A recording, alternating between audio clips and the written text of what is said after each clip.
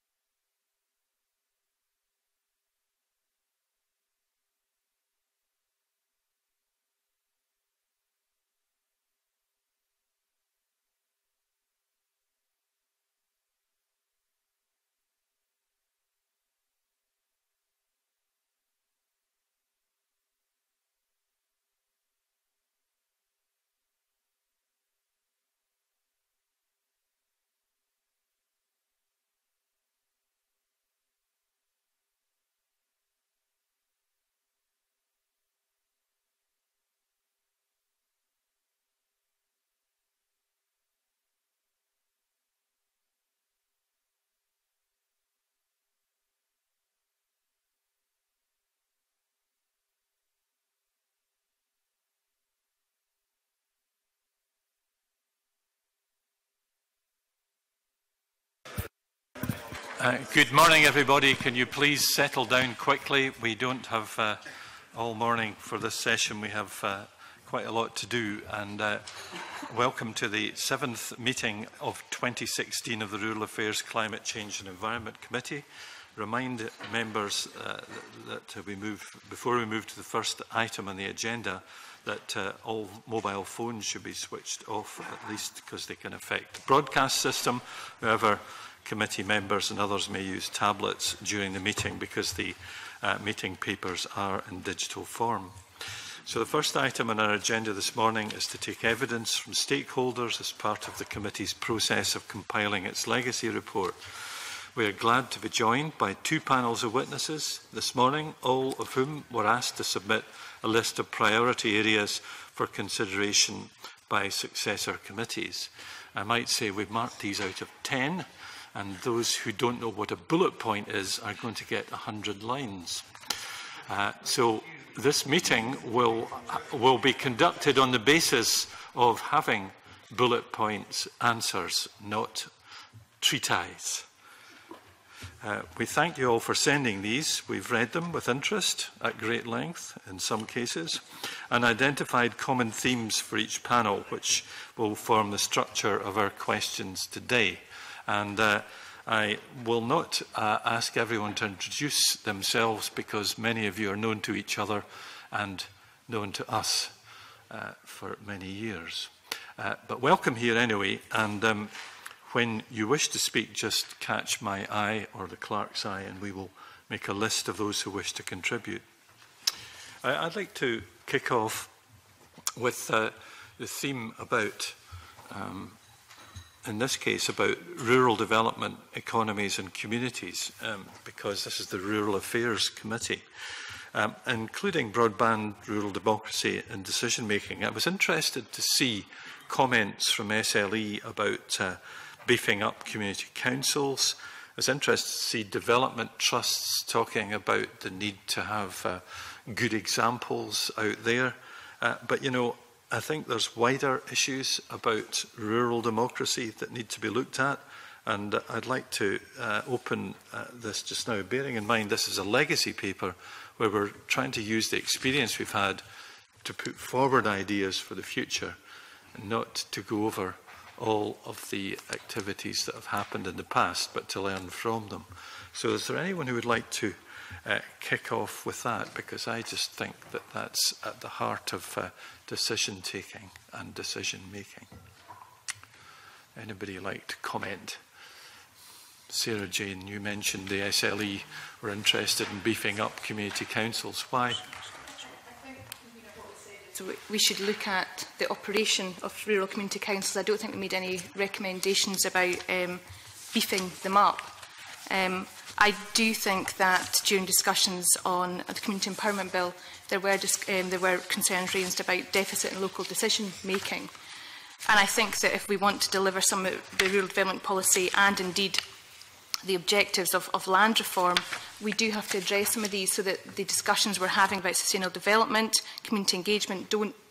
take place in a vacuum that um, certainly all local areas, localities, communities are aware of what they're trying to, uh, trying to deliver. Thank you for that. Yes, Sarah Skerritt. Morning. Okay, it's automatic today. Yeah. Um, I would like the committee to maintain an awareness, the, the next committee, about unintended consequences of the very good um, legislation and other elements being put in place for uh, devolution and local democratic initiatives. Um, we have the Rural Parliament, for example, um, the Scotland Bill, Community Empowerment Scotland Act, Um, there's also uh, much activity around community energy and community benefit funds, community broadband. Um, these are all extremely welcome. I think at the same time there's a need to be aware of inequities that will arise and already arise um, from these initiatives because there are assumptions that all communities are equally um, able to seize these opportunities, which we know from evidence is not the case. And so if there is increasing reliance on such initiatives to address systemic issues, um, then we're going to have um, some areas doing well, some areas falling behind, and growing inequity within rural. So that's something I feel um, must maintain a profile. Graham D and then Mike Russell want to chip in just now. Uh, Sarah Skerritt makes a very good point, but I would ask her, how would you go about building the capacity to ensure that you didn't get into that situation? There are many initiatives and we have DTAS here today and other agencies who are doing a great job in that regard. My point would be that we need to have coherence around that. So rather than having pockets of really successful activity, which is often dependent on um, local champions, we need to have something systemic that monitors where this isn't happening, where this is happening, learning from good practice, circulating that. Much of that is happening, but at the same time, today, there are communities still uh, not able to take advantage of these opportunities.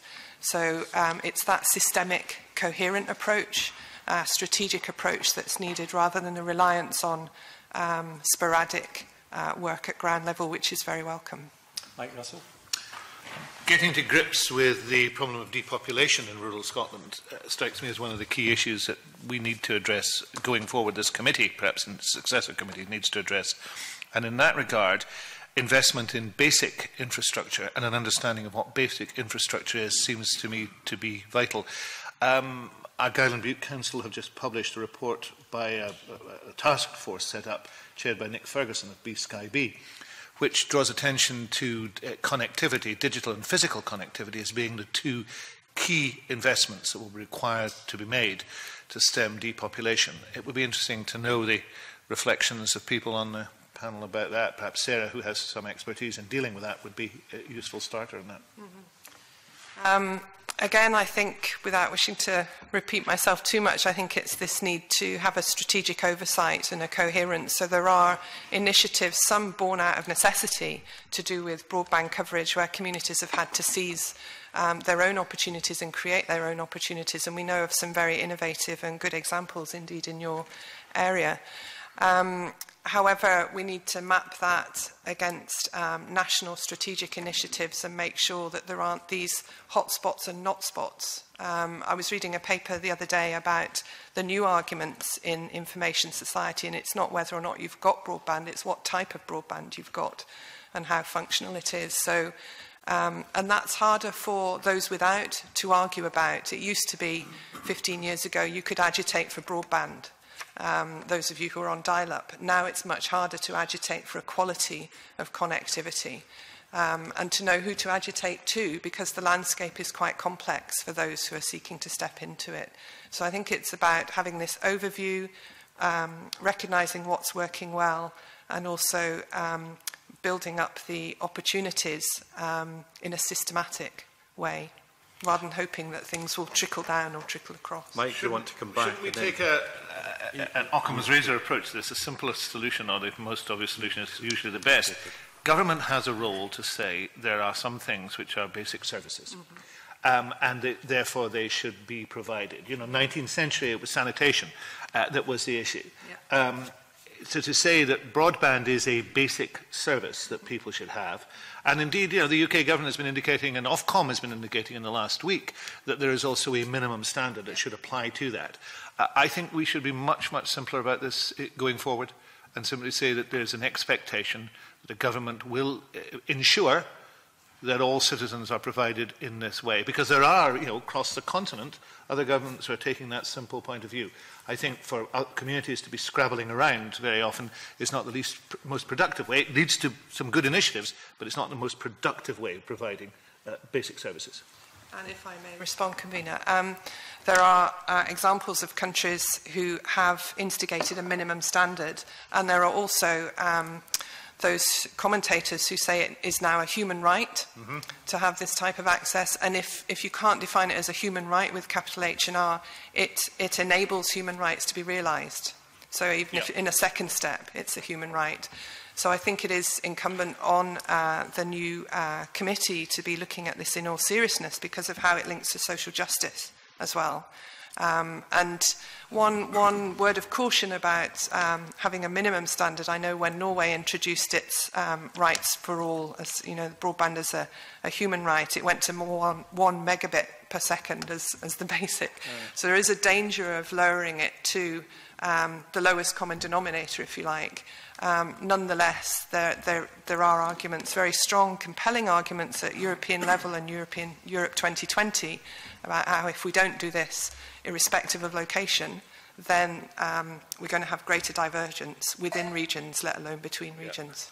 Yeah. Um, I've got Dave Thompson, Bertie Armstrong and Ian Cook who wanted to come in. Uh, I'm sorry, we're just going to have to do it that way, okay? Right, Dave? Yeah, thank you very much, Convener, and good morning to everyone on the, on the panel. Uh, I find this quite fascinating, and uh, as a Rural Affairs Committee, I, th I think there's a, uh, there's no doubt, and when Sarah was outlining the number of different community initiatives, there's a huge range, and there is a real danger that there isn't um, a, a sort of strategic approach to it. But you can have regional, you can have national strategic, you can have regional strategic, but what we're talking about here is local strategic coordination. Mm -hmm. Um, and, and a body that can help the local community to focus and to try to pull things together. And, and that sort of brings me back to the sort of community council point that's um, raised by SLE, but maybe not in relation to community councils. And I'd like some comment on this.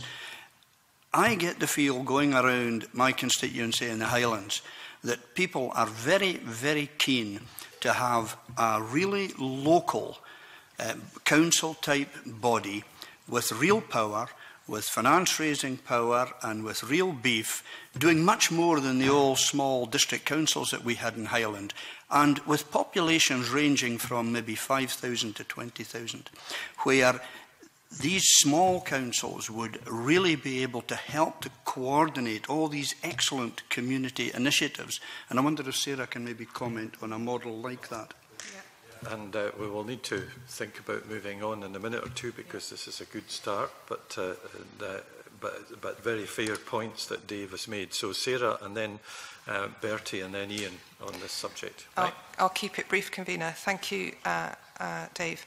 The OECD produced a report in 2008 on rural policy, and one of their um, headline points was the number of organisations operating within and for rural Scotland. And they said there were over 100 um, organisations that were focused on rural community development, and that was, um, what's that, eight years ago now.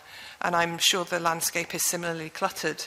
Um, and so the, the difficulties of navigating at local level are, are a real challenge. And that links to your point of having local, um, local bodies, but with power. And the, the challenge of having power is linked to this difficulty of navigating the landscape and where do you hook in, who do you talk to, who do you relate to. So I think that, again, there's a need for mapping, for being strategic, and having multi-level, because it's not either or. It's not the top down and bottom up. They're working together in a vertically integrated way, but that doesn't happen on its own. So there's, there's a deal of work to be done there, and it would be great if the successor committee could be mindful of these really critical issues. Uh, Bertie Armstrong and Ian Cook. Very short. Good morning, committee Thank you very much indeed. Um, to move away slightly from the Uh, really important and interesting area of local democracy and what can be done to enable it um, to the functions of the Iraqi, um, particularly the next Iraqi. Um, I would make a plea, and it's the one bullet point, although there was no dot there, uh, um, and that is evidence and waiting. when you are going about your business. This committee is going about its business of scrutiny. Um, it, it, you will get in the evidence a great deal of evidence and opinion, and it will be very important, in my view.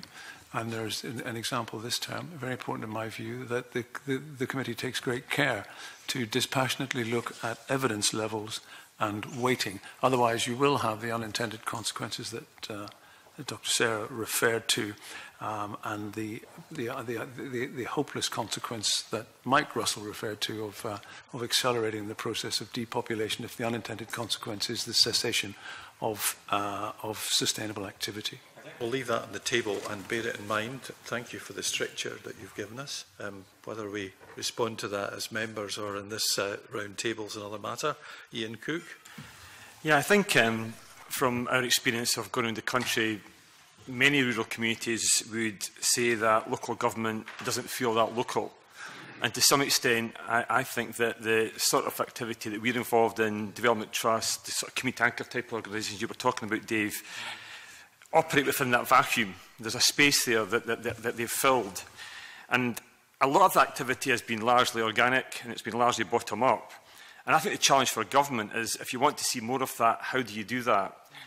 There's no blueprint, and I think that's the danger. The, the danger is, the, or the, the challenge is, how do you uh, encourage, inspire, support that development? But, but it looks different in different communities without really suppressing the real qualities of creativity, enterprise that communities are showing, which is the essence and, and, and contributes to the success of that. So the real challenge there.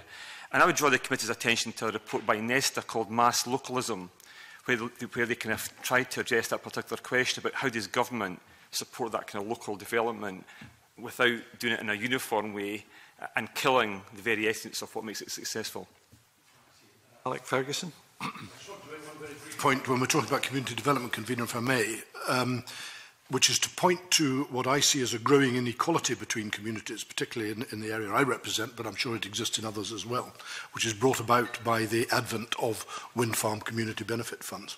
Because we are, I, I believe, reaching a situation where we have some very wealthy rural communities because they have access to funding and some who are uh, at uh, the opposite end of the scale in terms of available funding. And I think that is and will become a greater part of community development as we go forward. And it might well be something that a successor committee one, might want to look at. One or two councils have looked at sort of siphoning off 50% to, to deliver, but it, it's failed, certainly in, in my, my region's case. And I just think it, it is a growing issue when it comes to community development. There's a way of looking at this which could suggest that some communities actually have more power to try and augment uh, the funds which are available from councils in their area and indeed invest in other areas um, with that uh, community benefit. But uh, we could talk about that all day, I suspect. Um, I agree, I agree that uh, the imbalance is there, but in some of the poorest communities that I have in my constituency, um, we can see the benefits of people sitting down and making a strategy for how they're going to spend the money that they are due. Getting anything, well, in, in my part of the world, a lot of communities aren't getting anything at all. Well, that's, that's definitely something for the future community yeah. committee to look at. Uh, Jim Hume, you're going to kick us off on agriculture. Yes, uh, thank you very, very much, convener. Yeah, we'd just uh, like to hear the, the panel's view on agriculture. What, what are some of the challenges? opportunities uh, that face us in the, in the next five years of, of, of this committee. Obviously, CAP, SRDP, perhaps science and research, uh, food security and, and the panel members' visions for agriculture. Yes, Patrick Krause. Thank you. we um, submitted five points um, which we suggested are the the five issues that need to go forward in crofting. And one of those points was um, croft-proofing financial incentives. And the issue we're making about this is that, uh, as we've alluded to in the press quite a lot more lately as well, is that we feel that crofting gets marginalised in agricultural, particularly in the CAP, in the Common Agricultural Policy, and the way Scotland uses the CAP. So um, an issue that we would like the next um, committee please to um, participate in is in this round of the CAP, we've still got the areas of natural constraint um, to, to deal with and, and to develop a, a formula whereby areas of natural constraint get some sort of compensation for the situation that they stay in. Um, unfortunately, the, cabinet, the current cabinet secretary has said publicly that he is minded to keep the ANC as much like LFAS as possible, and we would argue that that is completely against the spirit of what ANC is. LFAS is being used at the moment for paying higher amounts of money to better land even though it's called the Less Favoured Area Support Scheme. And we don't want to see ANC going the same way. Good. That's an issue for the future committee. I most certainly agree. Um, anyone? Uh, we've got uh, several people here. Um, so Dave Thompson, then Claire Slipper this uh, um, point of, of agriculture, but particularly in relation to crofting. Um, uh, I'm sure Patrick might want to comment on this and maybe others as well. We, we've had a very welcome increase to the Croft House grant scheme, uh, just recently announced by the Minister. Uh, and just tying in with the broader issue of improving rural housing, I think the the next stage to do with the uh, addition of a loan element to that. And I know the Minister is looking at that, but How important do uh, members of the panel feel that is in actually uh, allowing people to access you know, the grants and, and build the houses that we need in the crafting areas? Patrick come back and clear slipper to come in just after that. Thank you. Um, I think it is in, it's essential to the to the um, the mix of grant and loan. We used to have um, across across croft building grant and loan scheme, the CBGLS. And in 2004, the loan element was taken away. And I remember at the time um, there being a sort of puzzlement, or there an apparent puzzlement in government officials as to why Crofters was so agitated that the loan was being taken away, because there was an assumption that what people want is a grant. This is completely um, against what crofters actually want. In all of our um, local um, consultations, people really want the loan element. That's actually more important than the grant. And, and as I've said in our short paper, the fact that the government has reviewed this scheme at last is, is very welcome. And the fact that the, um, the grant levels have gone up um, reflecting inflation over the years, which is, which is um, good. But the loan element is absolutely essential. And, and so we need this. In fact, this committee, I would remind you, this committee recommended to the, to the Scottish Government um, that the loan element needs to be reinstated. So again, I would ask that this is something that this committee takes into the next, um, the next phase of government and continues to lobby the Scottish Government on having a loan element. Thanks for that. Um, we will take that down and note it. Um, Claire Slipper on uh, some wider agricultural matters, I don't. Yeah, thank you, Convener. Um, this committee has it, it touched on a really important um, theme uh, when it focused on the dairy inquiry last year. Um, and there were some really important issues that were brought up in that that we felt were extremely pertinent to what Jim was hinting at in his question with regards to food production and security and how we can really emphasize food sufficiently, sorry, sufficiency in Scotland and the UK. Um, what we would want a successor committee to look at is the medium and longer term issues and um, things that can be implemented in which to secure food production in Scotland. Um, uh, uh, we said in our written evidence it's about kind of developing supply chains, um, export potential, how we can attract further investment and in processing into Scotland, um, and also looking more locally about how we can better promote um, local food and procurement. Uh, and these are some really important issues which we would like to see a committee examine um, in the future.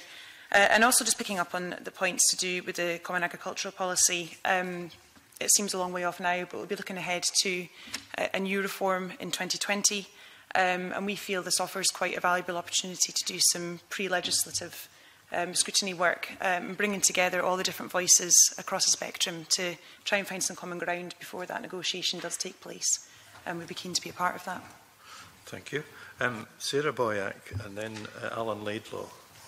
I was actually just going to pick up that point of the next cap reform and doing a post-match analysis on where we are with the current cap payments and LFAS payments, which Um, I think we're nearly at 50% for some payment, so there's obviously a major pressure in the farming community.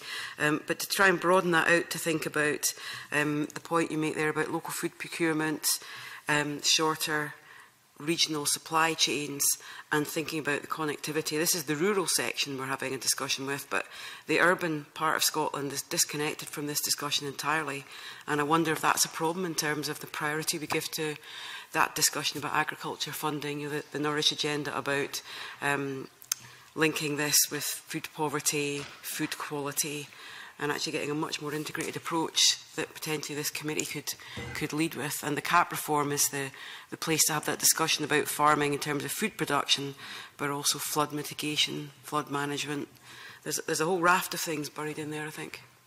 Um, Alan Laidlaw, Mike Russell, Sarah Jane Lang and Pete Ritchie in that order.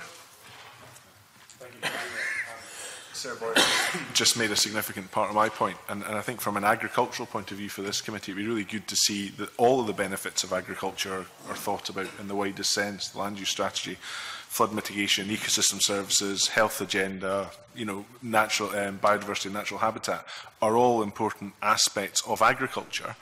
But at times, and this committee has seen more of it probably than anyone else, it's a polarized debate forestry versus agriculture, flooding versus agriculture. And, and I think from a committee point of view in the future, it would be great to see that strategy and that discussion being looked at the highest level. And, and I think it's all too easy to go down um, quite uh, sort of simplistic routes on that and become quite polarised. Agriculture's got a lot to offer all of these agendas if done correctly. And, and Patrick was very clear about you know making sure support in the future delivers wider public benefits that we all believe are important rather than just uh, minor sort of issues. Okay, um, Mike Russell, then Sarah Jane. Convener, uh, are we going to be dealing with crafting separately? Not because, really, no. No, okay, fine, because I just want to raise a point in Patrick's submission as yeah. well as raising a point... You come back, in fact. Well, raise a point with Claire. But yes. um, Patrick's submission, the issue of codification of crafting law, I think, is a, an issue that others particularly former ministers around this table would want to see happen. But there is a quid pro quo in this, which is after the nightmare of the Shucksmith pr process, I think you would you know, have to be you know, serious, something seriously wrong with you to want to go through that again from a governmental perspective. So if there is going to be a uh, process of codification, it would have to have the support of the crofting community. and be something they wanted to see, and that would mean change taking place. Because the, the, the Shucksmith process started with great enthusiasm and ended with a, an inbuilt resistance to any significant change. And I think that was deeply to be regretted. So I think that's an issue which I, I'd appreciate your view on, because I'm keen on codification, but I think you'd have to drag the Scottish Government into it, given their experience.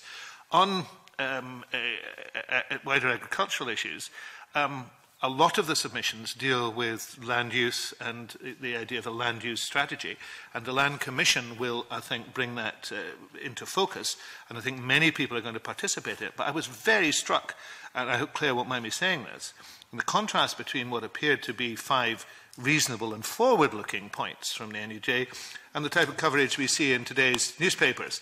You know, the Press and Journal, NFUS in last-ditch move to block land reform proposal.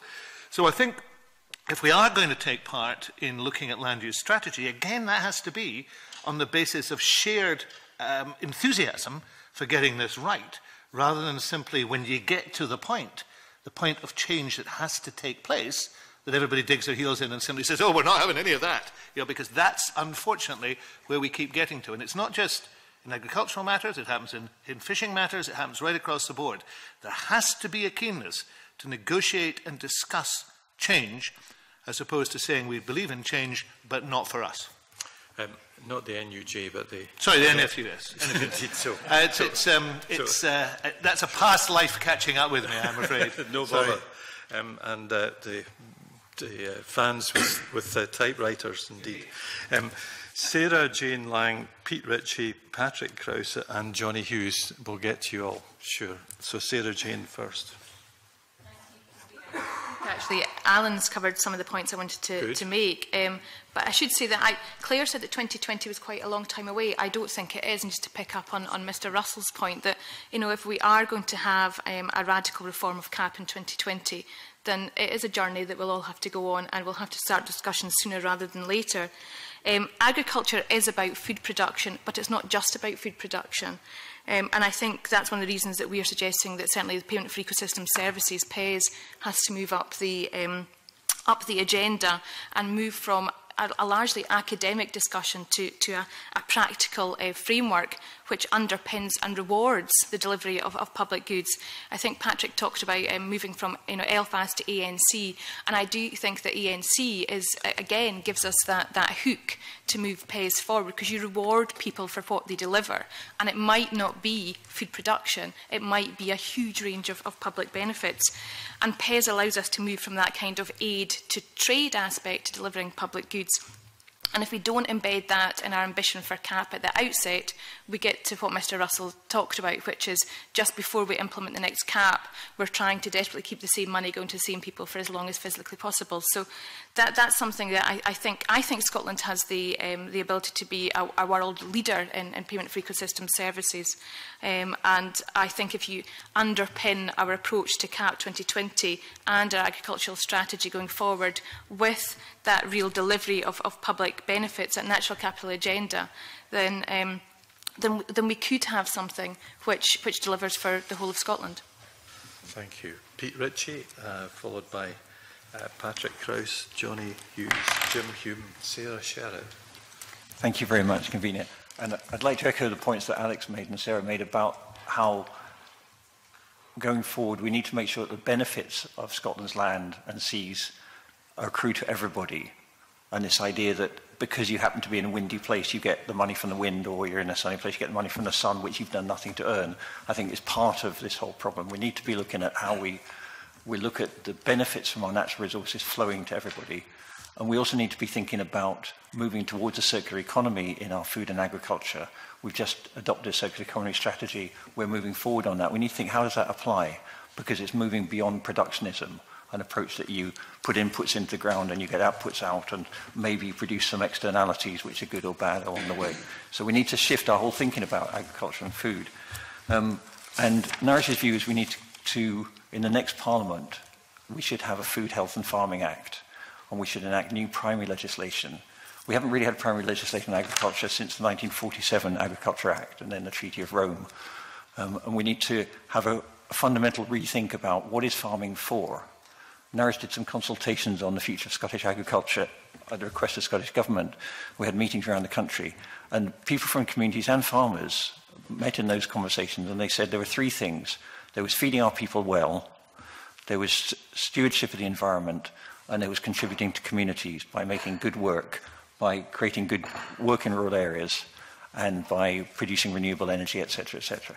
So people were very clear, you know, that what we think farming's for has to be at the, the heart of this. We have to rethink what's the purpose of farming, and the EU referendum has brought into focus if we didn't have the cap, what would we pay farmers to do?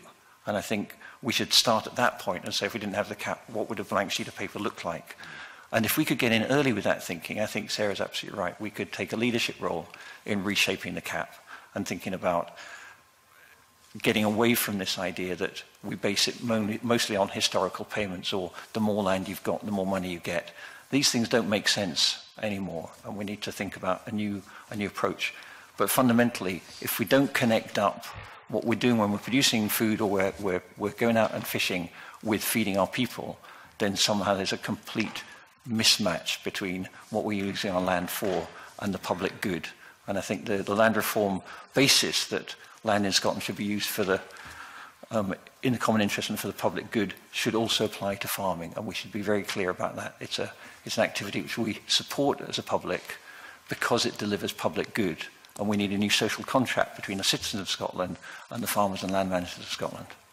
Thank you for that uh, inspiring speech. Uh, Patrick Krauser and then Johnny Hughes.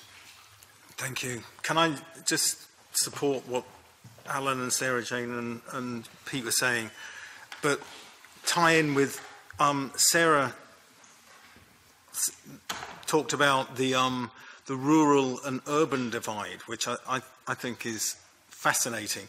But I think what we need to be putting over to the urban population is that Scotland is a country and the CAP is all of ours money. It's not just something that, that is um, the right of, of farmers. We pay something like 80% of this public money to only 20% of the landholders of Scotland. And we pay very, very, very little of it to, um, to reward public goods. So, so I'll just say again, public money for public goods. And then getting on to crofting legislation, I think, you know, I mean, Mike was certainly in a, in a very key position in, in the formation of what we have now. And I certainly wouldn't refer to the Committee of Inquiry on Crofting as a nightmare. I think it was one of the most inspiring things that the, the government has done. You know, if you look at what happened in the previous bill, where it was very top down and crofters were left feeling completely disenfranchised by it and had no support whatsoever. And then out of that mess, came the idea of having a full inquiry into crofting, something that hadn't happened since the Taylor Report in the 50s. And so, so the Committee of Inquiry was a really good thing. And it took um, crofting forward hugely. And, and what, what came out of the Committee of Inquiry and became um, legislation, it wasn't entirely what the Committee of Inquiry was saying. And I should add, actually, we had a, a revisit to the Committee of Inquiry in December. We held a conference in Inverness and Chuck Smith came and spoke at it and, and um, various other people involved in that process. And that's where these five points that I've submitted to the committee um, come from. Aye. Okay. And if, but if I could just please say on the legislation, and you say any government would be mad to revisit this, I just say be brave because it's unfinished business. You know, very quickly Patrick to respond. misunderstands two points I made. One is, I didn't say the Shucksmith inquiry was a nightmare. Indeed, it was set up by my predecessor. It wasn't set up by me, and I, I encouraged it. You know, uh, what happened was at the end of that process, many of the things that Shucksmith recommended didn't happen. And I think I regret that because I think they should have done. And I think that was a failure of nerve both by government and by the crofting community.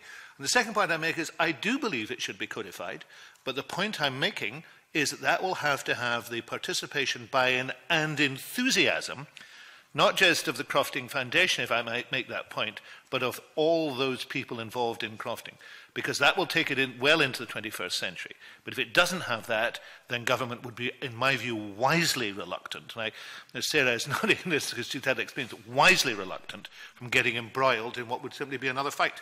Okay, let's see. If, Well, we can sort this out in the next Parliament. Very, very, very, very just a very quick yeah, the point to say dealing that it's about participation. Reform. It's absolutely about participation, and, and that's what will carry it through. Yeah. Okay. Um, Johnny Hughes, Jim Hume, Sarah Skerritt. Uh, thanks, Convener. I just wanted to make a few comments on agricultural economics in relation to natural capital and ecosystem services, which has already been mentioned. Just a reminder then that the total income from farming in 2013, which is the most up-to-date figures I have, uh, 2.9 billion uh, of output in 2013, but the costs were 2.8 billion. So that gives you an idea of um, the state of agricultural economics, if you like, in, in Scotland. Now, on top of that, there was seven, 570 million in, in direct support payments. Now, you could argue that that's uh, 570 million of payments without a policy purpose. So I think it's probably that that we're talking about. And the average farm in Scotland made a loss of £16,000 in 2012. So that's the kind of background of it. But of course, that is a completely incomplete picture because farming delivers on a whole range of other things apart from the production of, of, of food. Um, and if you think of it, of, uh, if you think of that money, uh, the money we invest in the agricultural sector as being an investment, in, in a sense, in natural capital stocks, um, to try and maximize the range of benefits that we get from, from those stocks and things like clean water, flood mit mitigation, carbon capture and storage, biodiversity. Um, indeed, um, the stimulation of new enterprises. Um, then you get a completely different picture. But we have not done that analysis. And one of the things that I would urge the committee to do in the next, in the, in the next session is is to begin to get to grips with that analysis. We need to do that analysis as a country. The Scottish Government needs to begin to do that analysis, understanding those stocks and flows, not just the immediate kind of financial flows from farming. So we, then, we can, then, then we can understand how to deploy that money for, for the public good. And that's not, it, it's not about either ors actually, it's about delivery of a range of benefits, as the land use strategy says, talks about multifunctionality. So we move away from monocultures and we move away from sectors and we move towards multifunctionality and innovation, which is something I think rural Scotland uh, desperately needs. Um, without boring you with any more figures, I, I will leave it there. But just to say that I strongly support what the Crown Estate has said, strongly support actually what Scottish Land and Estates has said about um, Scotland potentially becoming a, a, a world leader in payments for ecosystem services. I hope the Scottish Wildlife Trust has paved the way for that with a will for a natural capital to, to a small degree. Uh, and I strongly support what Nourish Scotland has said uh, again about um, If we had a blank canvas, if we thought, how can we use that 570 million in direct support payments, how would we best spend it for the Scottish people? Yeah. Not, not, not just a small sector of the Scottish people. Very thoughtful indeed. Thank you for that. Jim Hume? Yes, very much, convener. Yeah, I think Johnny makes some of the, my points uh, quite clearly. Good, uh, states of 2.9 billion output and 2.8 billion cost, but Those 2.8 billion costs are money into the economy as well, of course. That's money going towards feed merchants, that's money going towards local towns, that's money going to uh, uh, machinery merchants, etc., eh, etc. so th that's quite, uh, I don't think land agencies is a big part of people's costs. anyway, obviously everybody's showing their bias uh, today. But um, so it's obviously uh, caps a very important part of that, and uh, I think that has to be uh, remembered by whoever is in that next uh, committee. Uh, Claire Slipper also ma mentioned a, a point about the, the dairy uh, industry. Uh, we looked into that, and what came clear from that was that uh, we have a lack of processing capacity in Scotland. Everybody looks at New Zealand and says, oh, well, they got rid of the payments there. But, of course, money still goes into agriculture Uh, uh, in a different way there where uh, a large amount went into processing. So instead of just having liquid milk, and you could say that for all commodities down to wheat, then they were able to make their liquid milk into different products and export quite, quite successfully into Southeast Asia. So it would be interesting to uh, hear perhaps others' views of whether we should be looking at supporting in a different way by uh, processing and, of course, marketing as well. We get New Zealand products marketed on our TV screens in Scotland. So why can't we do it the other way around? Okay. thank you, Jim. And with those thoughts, Sarah Skerritt, Sarah Boyack. Convener, um, with what's been talked about here very uh, clearly, the, the multifunctionality of agriculture and land use demands innovation and adaptation by the workforce. And to maintain the resilience of the uh, farming sector, education and training of current and future generations, I think, is something that the committee needs to be mindful of. So we have the National Strategy for Land-Based Education and Training in Scotland 2015, which highlights the ageing workforce, uh, a need to upskill existing staff and also attract new entrants. We also have the exciting prospect um, of the rolling out, further rolling out of developing Scotland's young workforce agenda, which is bringing together schools with um, colleges and seeking to develop career pathways towards um, for individuals from rural and non-rural backgrounds. So there is a, a championing of rural, um, the rural sector and the agricultural sector in particular in non-rural schools. Um, so I think it would be very helpful and indeed perhaps imperative looking at the sustainability of the farming sector for the successor to committee to be monitoring outcomes of these initiatives, the impacts they're having and what, what's working well and what could be done differently um, if we're really focusing here on the resilience of the rural sector. Hmm. So, three Sarahs in a row. Sarah Boyack and then Sarah Jane. Yeah. Uh, just a brief comment, it follows on from the last two speakers, um, just to suggest that we might want to look at the when we're looking at cap reform, to look at the issue of markets, because that's, that's an issue for the dairy farming community. The market support is just broken, it's just irrelevant. And to look at in the 21st century what the role is of markets. We've talked about the what government might be able to do with the uh, farming industry in terms of um, procurement and local and regional markets. But there's a, a wider intellectual issue about markets. Do they work for the farming community in the 21st century? And how might we respond? Uh, Sarah Jane. Just to add to what uh, Dr Skerritt said about resilience in the farming sector, and, and plea not to focus as very, um, solely on new entrants and, and encouraging innovation from the, from the next generation. Um, there's a huge um, wealth of expertise and knowledge from our current farmers in, in Scotland. And we've, we've had very successful knowledge transfer projects such as the Monitor Farms, um, and indeed we may even look at Monitor Estates in the future. And I think we have to make sure that they are part of an ongoing bundle for supporting resilience in, in farming. Because, I mean, although we're talking about, you know, a, a, a change, you have got willingness and expertise within the industry. Um, I, it's showcased every year at Carnoustie and, and, and down at the Oxford Farming Conference that, you know, the Scottish, Scottish farmers um, do know how to innovate. They do know how to, to, to um, enhance what they're producing. But we have to just make sure that they're continued to, to uh, be supported, say, through, through projects such as the knowledge transfer schemes that Scottish Government already has. I'm concerned about time at the moment. Uh, Claire Slipper and then Dave Thompson. Thank you. Just a point and picking up on what's just been discussed. Um, but we have the Scottish Government's vision for Scottish agriculture document, which I'm sure all the groups around this table will be um, participating in. And it's just more a plea more than anything else for the successor committee to, to look at this document, um, perhaps through the term of the next parliament, and to weigh up how all these different initiatives, how different promotions, growth boards and visions are all tying into this wider framework of, of Scottish agriculture. And that has to be taken alongside becoming a good food nation, the strategy to 2025, because that leads us, you know, uh, into thinking about how people can share in this bounty, uh, because they don't at the moment.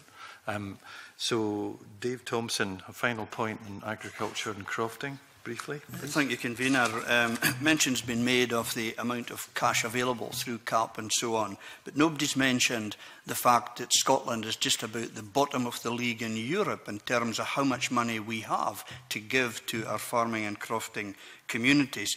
I think it would be very useful for a future committee to look at why that is the case, and can it be rectified? Can we do something even within the current structures, and I'll not make any political points here, within the UK to make sure that Scotland actually gets the same as other smaller countries in Europe or more? Uh, because that would make a huge difference to the amount of cash available to everybody, and we all know that money is a huge problem. Indeed. Thank you for that uh, point. Perhaps uh, we should usefully move on to marine issues just now uh, taking that on board. Uh, Claudia Beamish, you want to start off? Right, thank you, Convener, and good morning to everybody.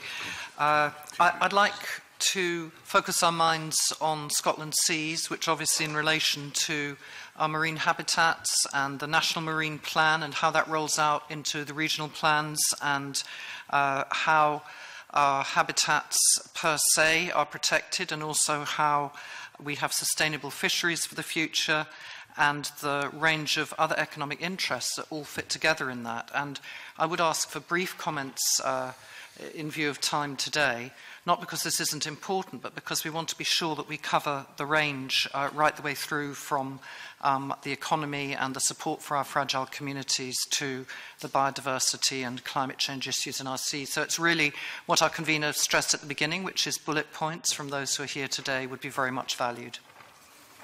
Bertie Armstrong. Thank you very much, Mr. Committee. Good morning, Claudia. Thank you for that introduction uh, to the subject. What uh, I'm going to bring up our single point again, and that is the use of evidence and the use of uh, making decisions on, on, on evidence base. The problem that confronts the fishing industry of Scotland at the minute can be summarized in a, in a half sentence in that everybody knows about the benefits of fish and loves fish, but doesn't actually want anybody to catch any. Um, on the matter of marine protected areas and habitats, they are vitally important. And it is extremely important that, that the marine environment is stewarded properly. However, it needs to be productive. And therefore, at each point of decision as to what is enough, what is enough to, make the, to meet the conservation objective, and wherever possible, to meet the objective of continued sustainable use of the sea that, that, that balance prevails. That has not been the case uh, uh, in, in a small amount of the MPAs. Now, I'm going to emphasize it's a small amount. The whole MPA process was an exemplar. The Scottish MPA process was an exemplar for other nations going about setting up MPAs. The problem was decision making in four from 20 of the first designations, which were skewed, in our view, for political purposes. And that did such a lot of damage to what would have been uh, um, um, a, a truly excellent process. And so when we're going forward, of course, protection of the habitat is vital, but there must be evidence, and we must bear in mind the other statutory requirement of the Scottish Government, which is the continued sustainable the continued sustainable use um, of the seas for food production. That's, that's, that's the vitally important, often ignored other half. Graham Day? Yeah, I, I kind of find myself agreeing with Bertie Armstrong as much as his point about it being incumbent on parliamentary committees to differentiate between evidence um, and opinion masquerading as evidence. But, but I've made the point also it's incumbent on those making the submissions to this committee or any parliamentary committee to focus on evidence rather than opinion, uh, eh, or dare I say, self-interest where it conflicts with the greater good. And, it, eh, you know, you reference the MPAs, but through the MPA process, and I don't mean this as a defensive point, it can be very difficult for this committee or any committee to cut through the um, claim and counterclaim that's presented to us, and dare I say, something's presented to us or a case made in a way that's not altogether acceptable. So I guess the point I would make is that we're sitting here today around this table and we're hearing measured, constructive, respectful contributions that are balanced, looking at the greater good. That's the kind of evidence we need and the successor committee will need in the years to come. Yep. Oh, I absolutely agree, Graham. And, and if we can proceed in the next session um, with that as the as the underlying basis, then we'll we, we'll do better. W one thing that is important um, is is the ability to differentiate between uh, um, um, well-stated, plausible-sounding opinion and evidence. And, and, and I completely accept your point that, okay, if you're going to present evidence, make it convincing. Accepted see through the orange smoke of the flares that were let off outside the Parliament to get some of the evidence over the opinion. Um, Callum Duncan, followed by Alan Laidlaw. Yes, I think yes. this is important. Please do. If we're, if, thank you. If we're talking about the point that both yourself, um, Bertie, and Graham have made, that to, to and I'm not, I'm not asking for responses at this point, but we have to be very careful about uh, comments which, for instance, you've just made, you know, in evidence, which is that, and I quote, um, the committee or doesn't want anyone to catch any fish. Now, I mean, that, that is sort of something that, uh, frankly, is, is I understand where you're coming from on it, and I understand fragile communities are, are at risk, and I understand what, what that perspective is, and that there have been a dichotomy of um, evidence on, on uh, the future of our economy. But uh, I, I have to say, just for the record, that that is not the perspective that, that we're coming from, and I think it's just important to... Mm -hmm to put that on the record. It is about fishing now and the other uh, interests in the environment that the committee's been looking at that it has to weigh up. And that is the sort of legacy that I would, I would hope that would go forward. Yeah, right. One Thank point. you. Uh, accepted, Claudia. The, the, use of that phrase was a deliberate use of a catchy phrase. Um, Callum and I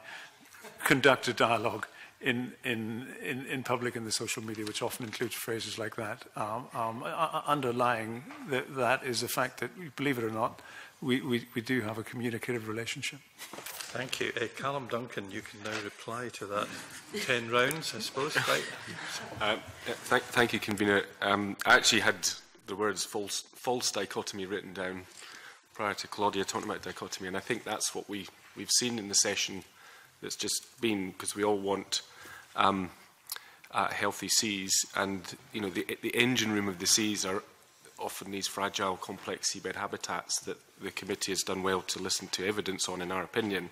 And that evidence has been about the, both the features but also the status of the seas and, and the, the benefits to the seas that those features can provide if properly managed and indeed uh, recovered.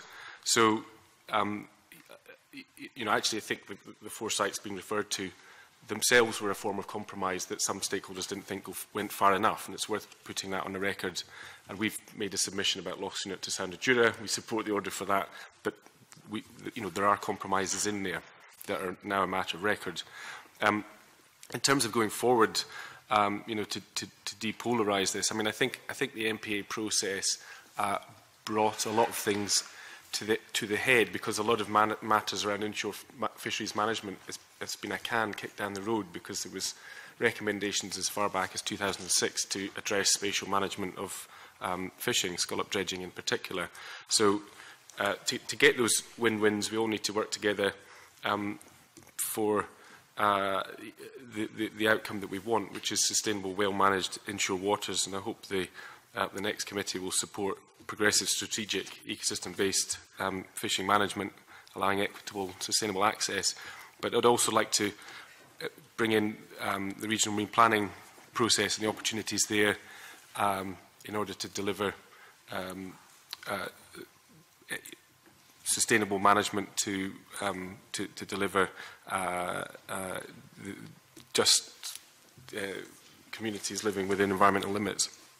Um, and, and just to, fi to finish, I think, you know, obviously as part of the MPA review process, we've got another round of um, management measures that need to come in.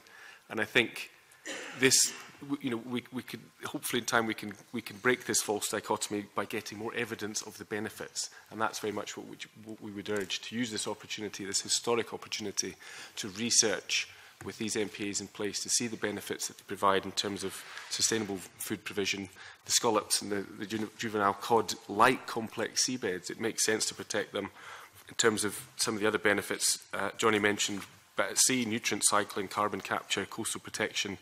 Um, we're seeing politics aside some really encouraging evidence from Lamlash Bay um, and some of the research opportunities that's providing. So we'd really encourage that in the next session to make the most of this historic opportunity um, so everybody can, uh, as, as Pete was talking about, um, uh, gain benefit from this public good going forward.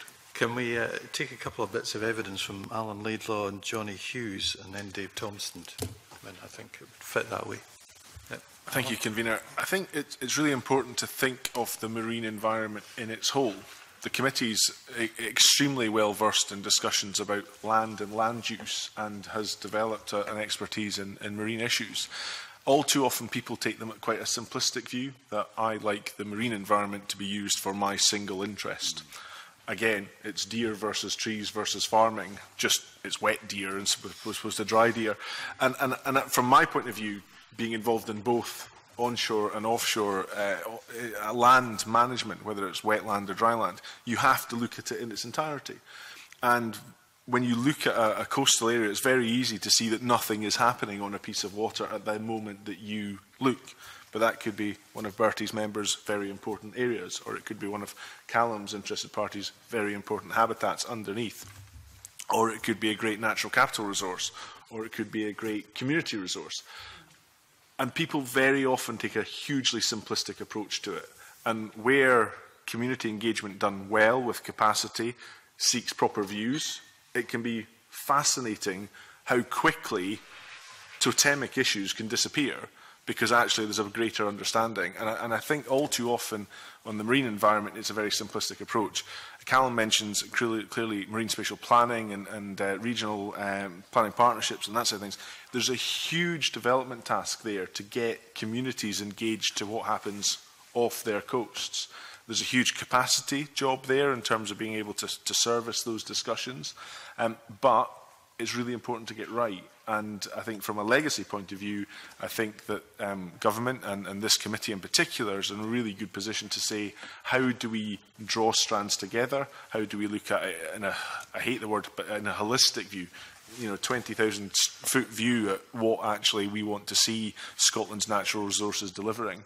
And it's exactly as Johnny says, there's multiple benefits to be delivered from the same piece of ground if done properly if done in a simplistic approach, we can make a mess for everything and, and you'll have more dreadful evidence sessions that you don't want to be having. So that's my plea.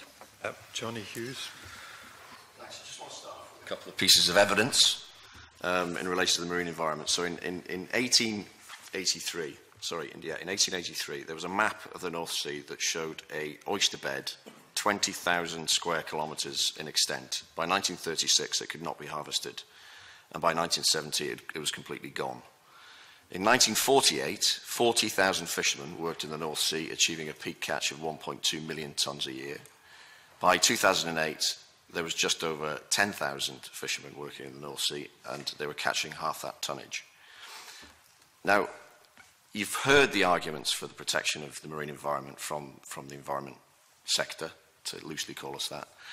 Um, but I think in, in, in recent years we've been increasingly making the social and economic arguments for the, for the protection of our, of our marine environment. And I, I do think we need to understand the shifting baselines here. You know, how, how far are we going? How, how far have we understood, really, the extent to which we have damaged our marine environment and, and the extent to which it needs to be recovered? Um, uh, you know, sometimes you look at, you know, we're looking back on five-year timescales and thinking, oh, in five years ago we were in this situation. Why can't we be, you know, catching as much fish now? We have a massive recovery job to do to increase production in the future. And I'll put it on the record now that the Scottish Wildlife Trust want Scottish fishermen to catch more fish. We want the Scottish Fishing Federation to enable their members to catch more fish. But in order to do that, we need to recover the marine environment first. It's exactly the same with the deer issue on land. We need to bring deer numbers down to the point where we're getting primary productivity on land rebounding, so we're getting forest regenerating, so we have healthier, more productive, stable populations of red deer in the future. It's exactly the same scenario. We need recovery, and we need to understand how far we've gone in terms of damage to our environment and how far we need to go on the road to recovery. And maybe that's something the, the, the committee could look at in the round, is this, is this baseline issue, because it's, is often misrepresented. And uh, Dave Thompson?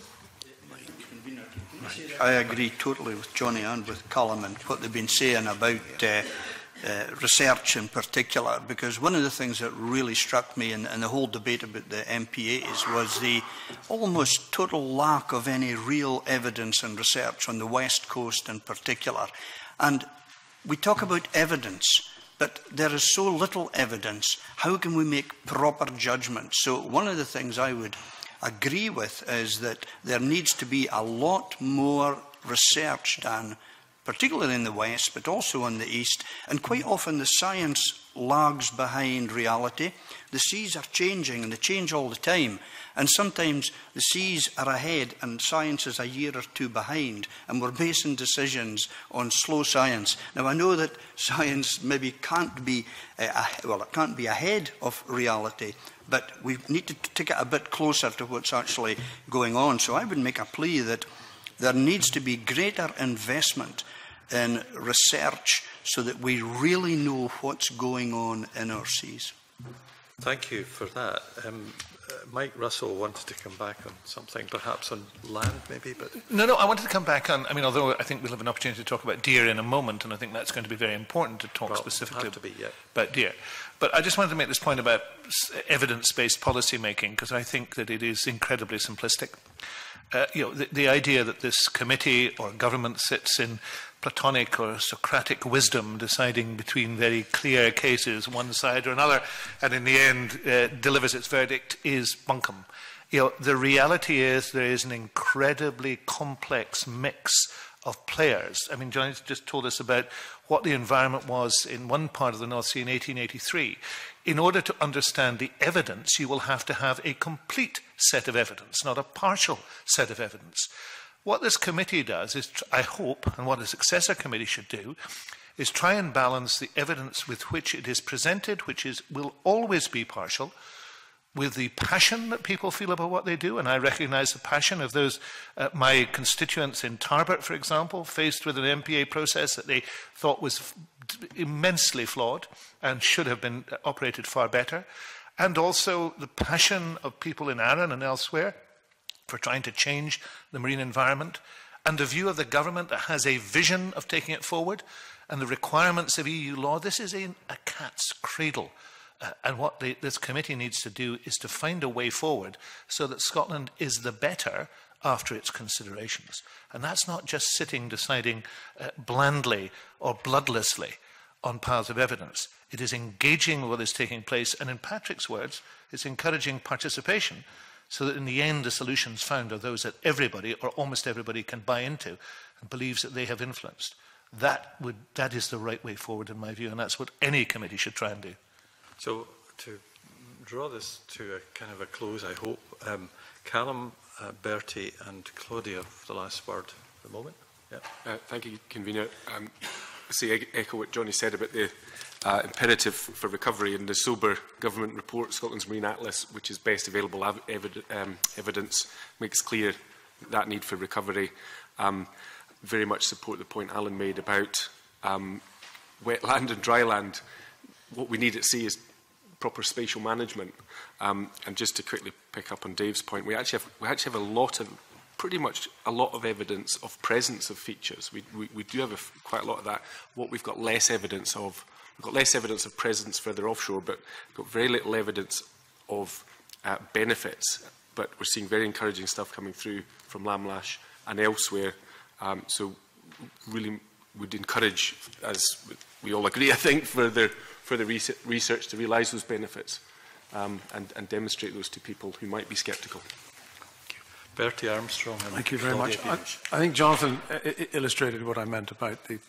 the, the general nod towards you, you, don't want anybody to fix. That, that, that's an entirely predictable narrative, which is a, an objective tale of woe about uh, disasters foregone.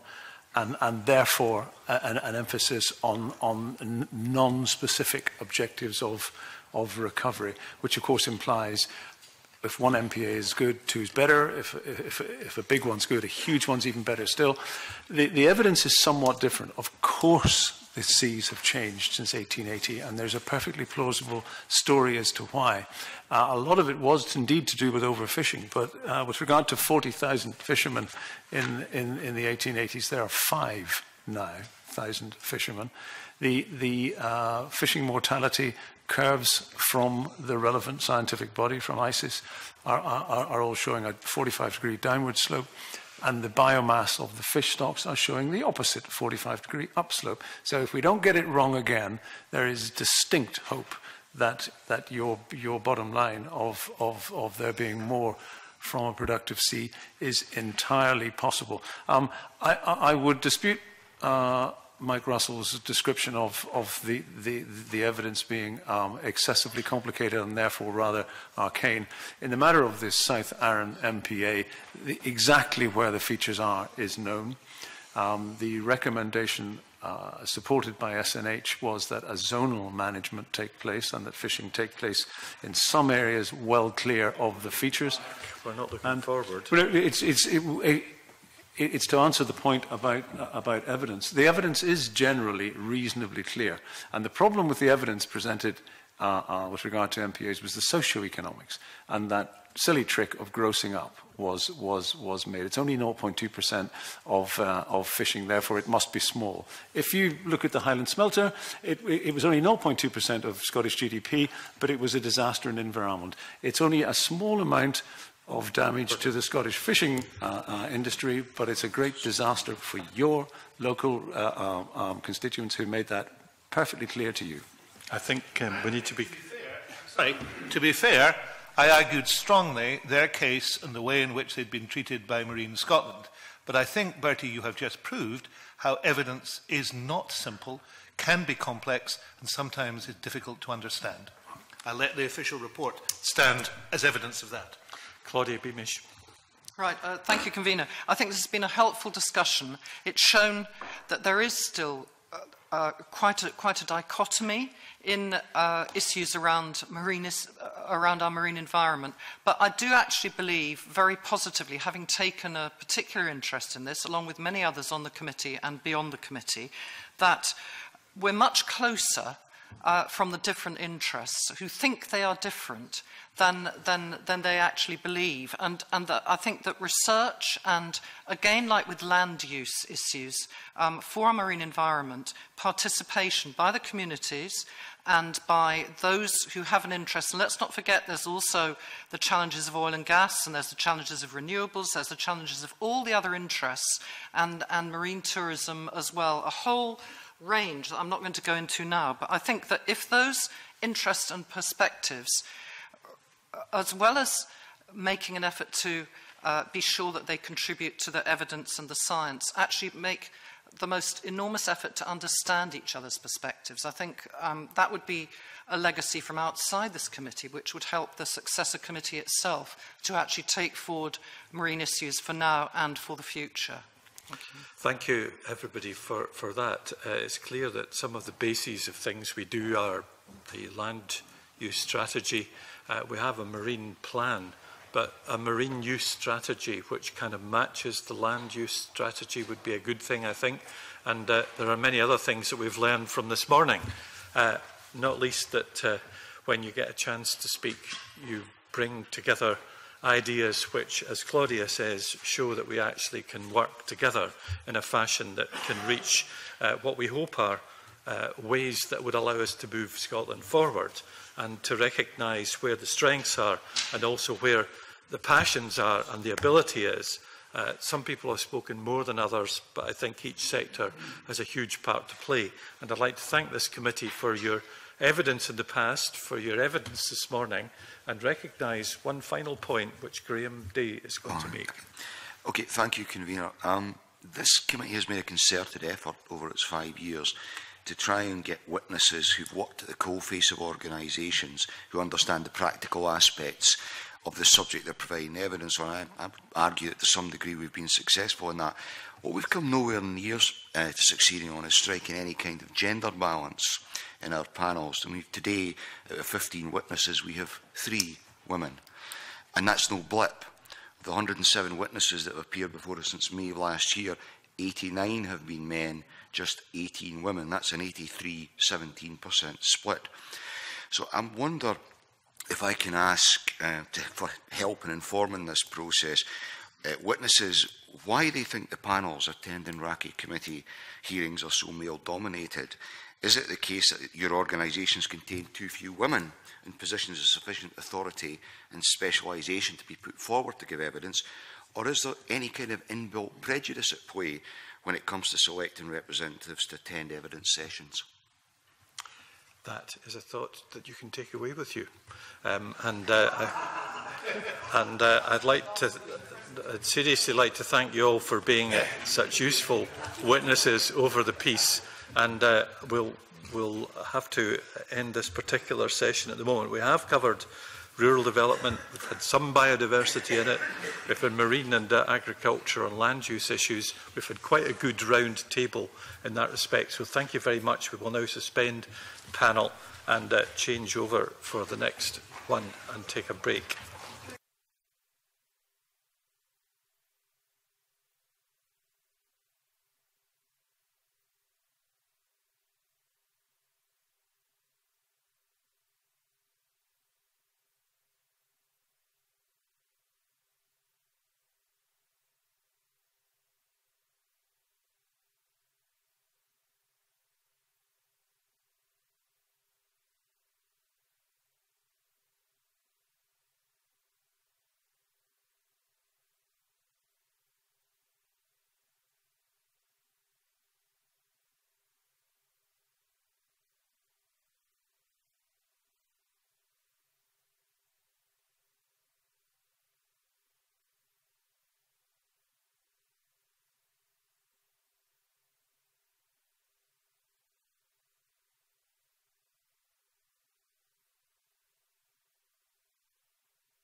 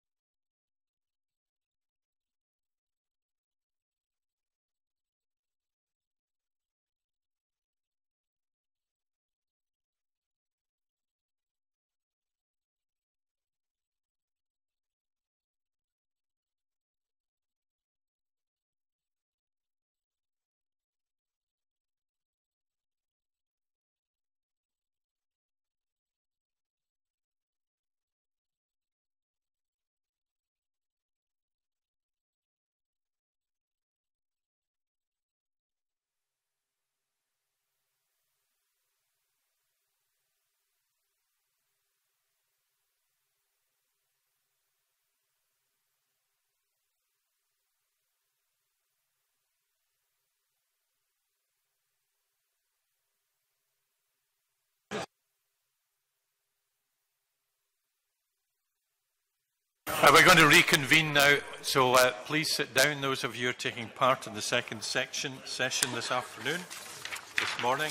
It'll oh, go into the afternoon, no doubt. So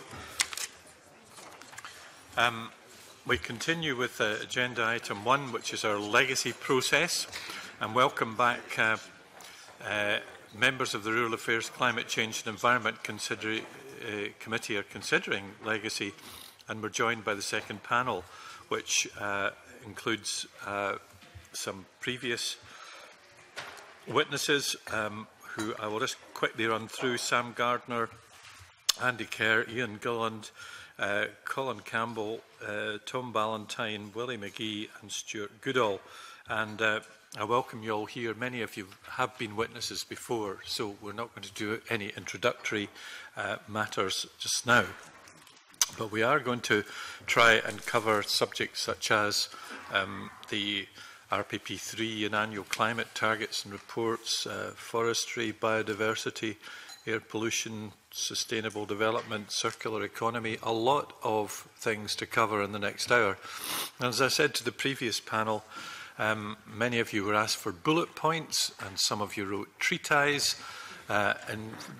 uh, this committee in this hour, bullet points only, not treatise. And uh, so we must try and focus so that it is a legacy paper, not looking at the past, but trying our very best to make sure that uh, we give the next committee a clear steer.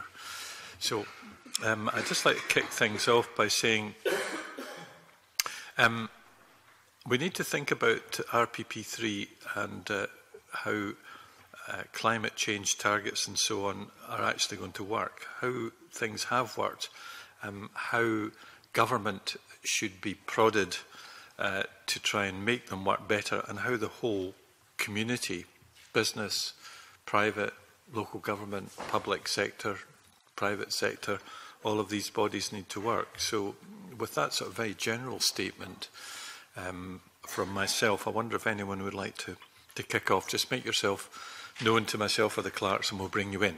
So, um, Sarah, did you want to...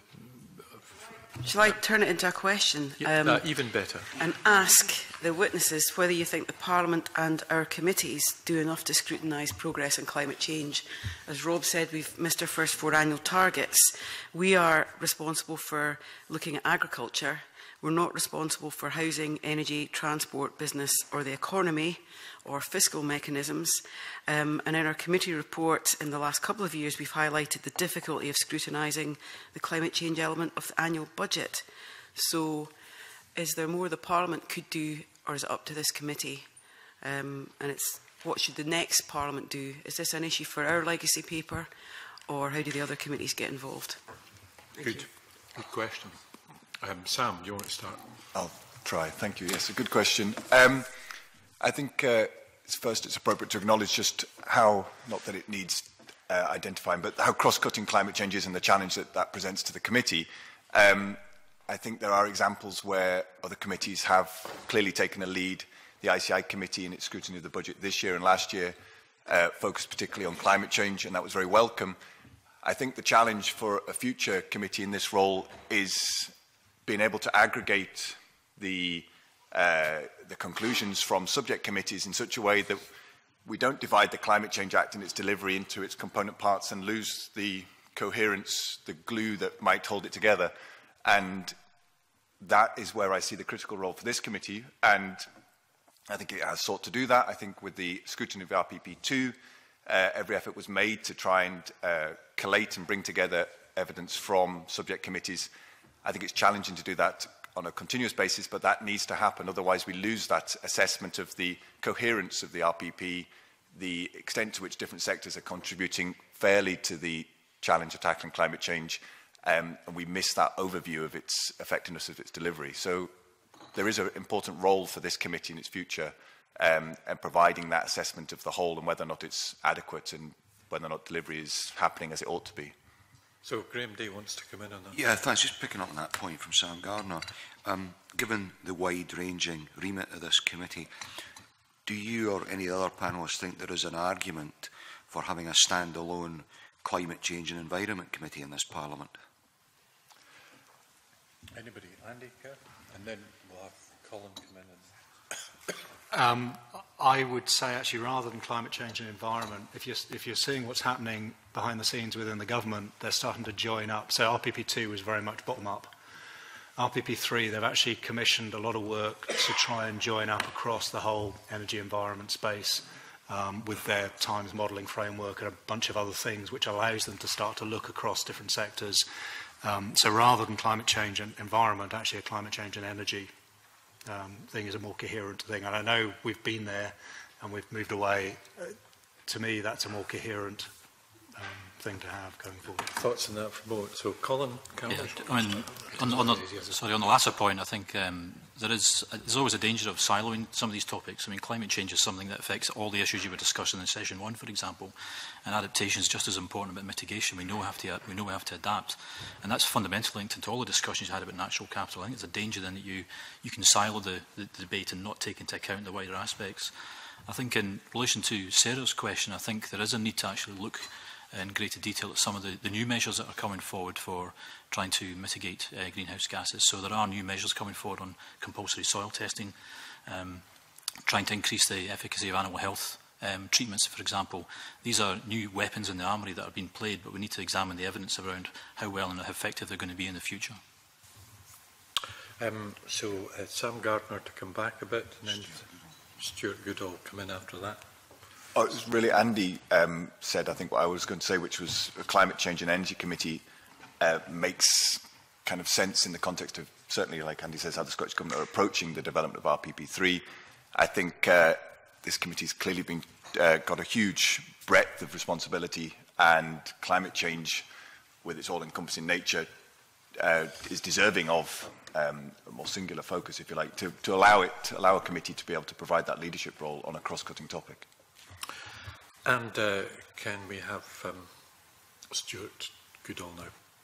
Thank you. Uh, I think both points uh, can be linked. Uh, having a you know the committee like this, putting a spotlight on climate change uh, and challenging government, I think is extremely important.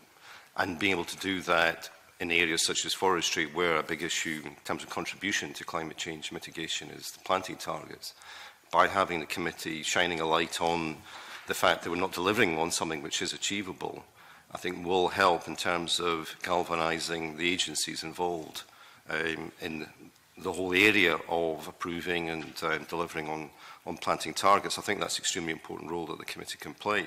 And I think that also highlights the fact that it's beneficial having climate change linked in with other parts of uh, you know, Scottish Parliament's responsibilities which are key deliverables. So forestry planting is one of the big positive things that uh, government can do to generate activity, economic activity, as well as reduce climate change. It's part of the rural affairs agenda. So having that ability to look across, I think, is extremely useful as well, and then come up hopefully with some um, joint solutions. Tom Ballantyne, would you want to comment on some of these things? yeah, I mean, I can only give a kind of a broad answer, which is that um, the more time we devote to the subject, clearly, the better uh, I feel about it.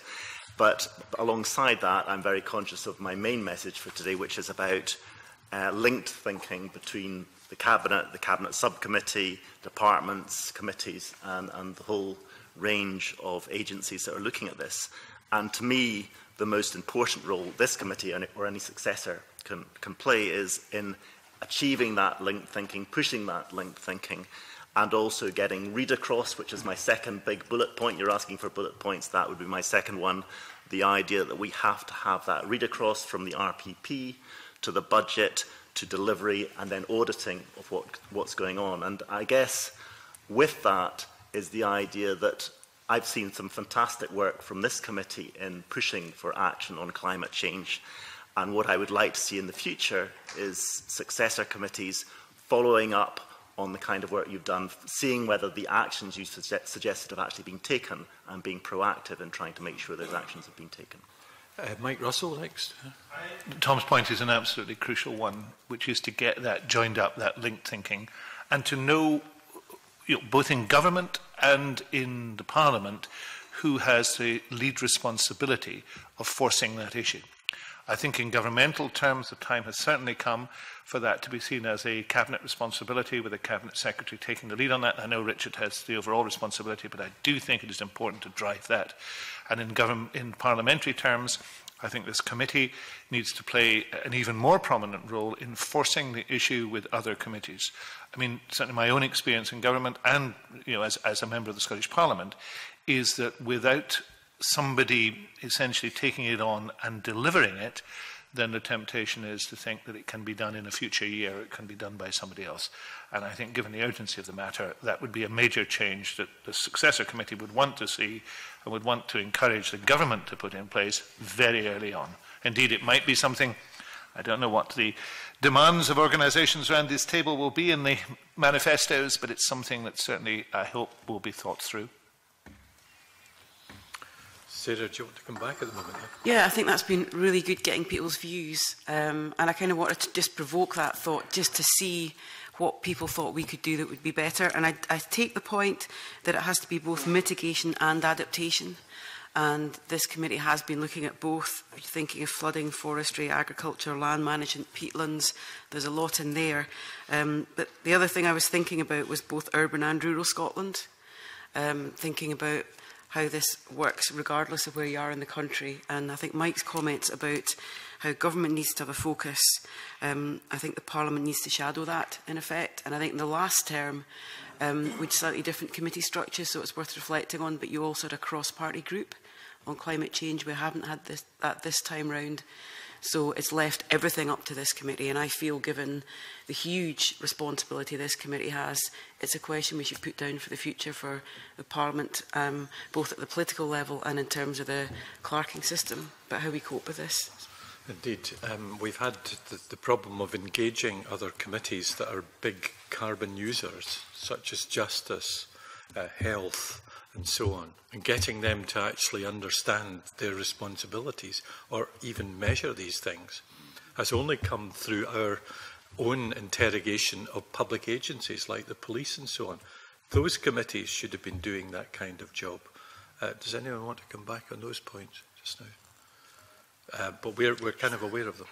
Yes, Sam. The, you've made a clear effort to mainstream the climate change scrutiny process uh, in recognition of the challenge of taking it all on and the fact that committees, our uh, subject committees, bring evidence that's relevant to those particular topics. I think uh, there hasn't been um, checks and balances that have assured that those committees have fulfilled the, the requirements of that mainstreaming. So through, throughout the budget process, I highlighted one committee that was particularly strong on it, but others have paid much less heed to the climate change relevance of their budget scrutiny and there is a dilution as those scrutiny, those different committees report back to the Finance Committee about what eventually appears in the Finance Committee's report in with relation to climate change.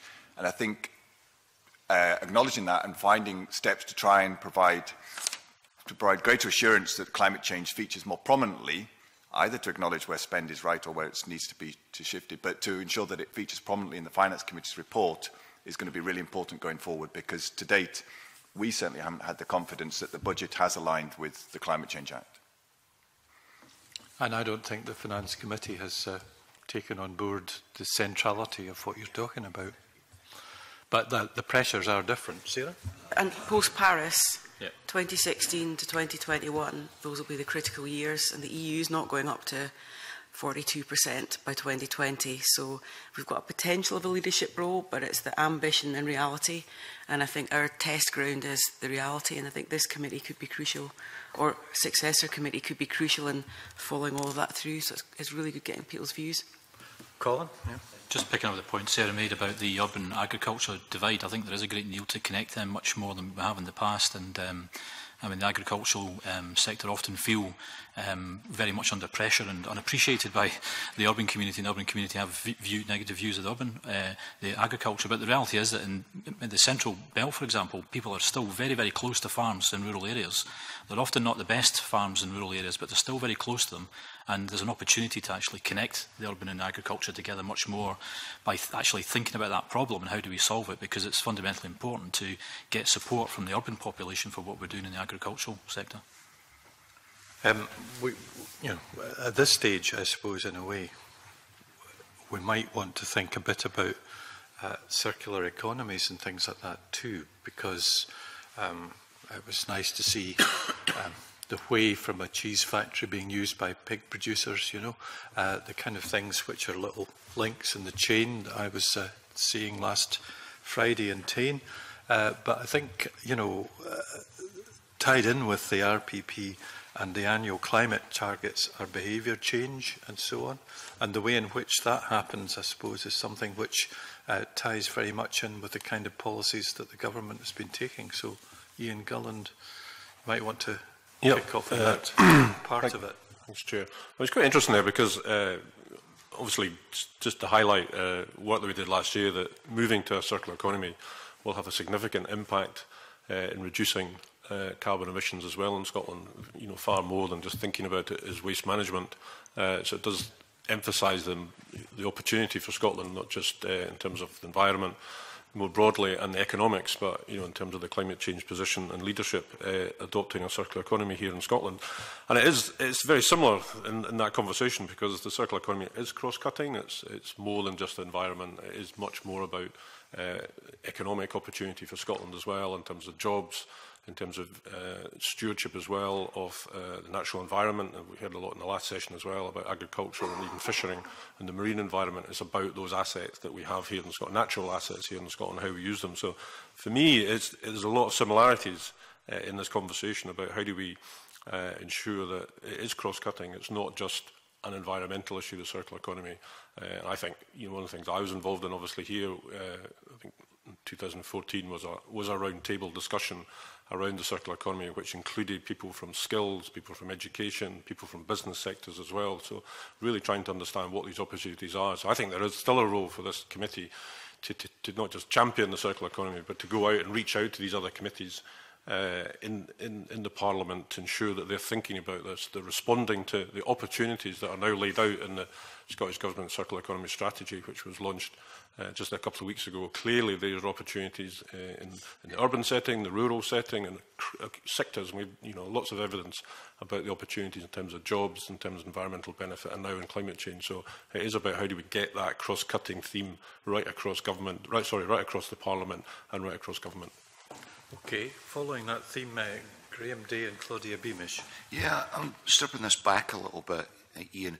How do we actually explain effectively to the wider public what the circular economy is, what it means? Because um, we had a very good parliamentary debate, I think, last year here, where MSPs made a decent fist of trying to articulate what the circular economy is.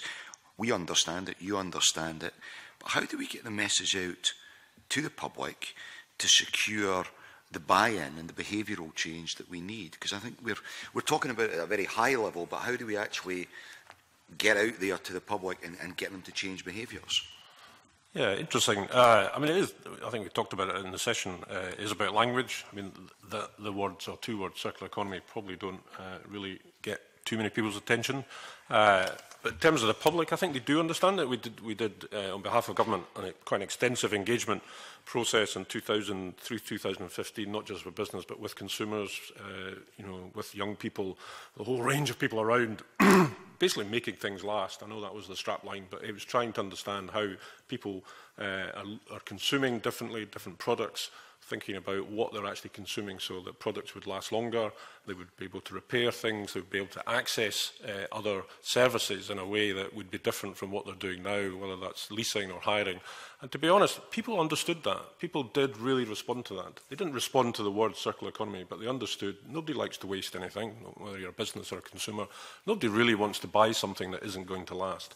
People do understand that, and I think people So I, I know it's a kind of nuance on it uh, in terms of, of the language, but it is actually people understanding they want to buy things differently, they want to consume differently, and they understand particularly things like climate change. They want to do something to really benefit climate change and, and uh, the aspects uh, that they can see writ large across the main media, uh, particularly in the run-up to Paris. And I think they understand things like circular economy, making things last longer, recycling, repairing, remanufacturing and using things longer, both themselves and then passing these things on. I think the public do get that.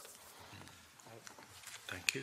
Uh, Claudia Beamish, then uh, uh, Tom Thank Ballantyne. you, Convener. I mean, the, the points really have been raised that I wanted to raise uh, in the main. Uh, but just to follow on from the points that you were making in and also from, from Graham Day.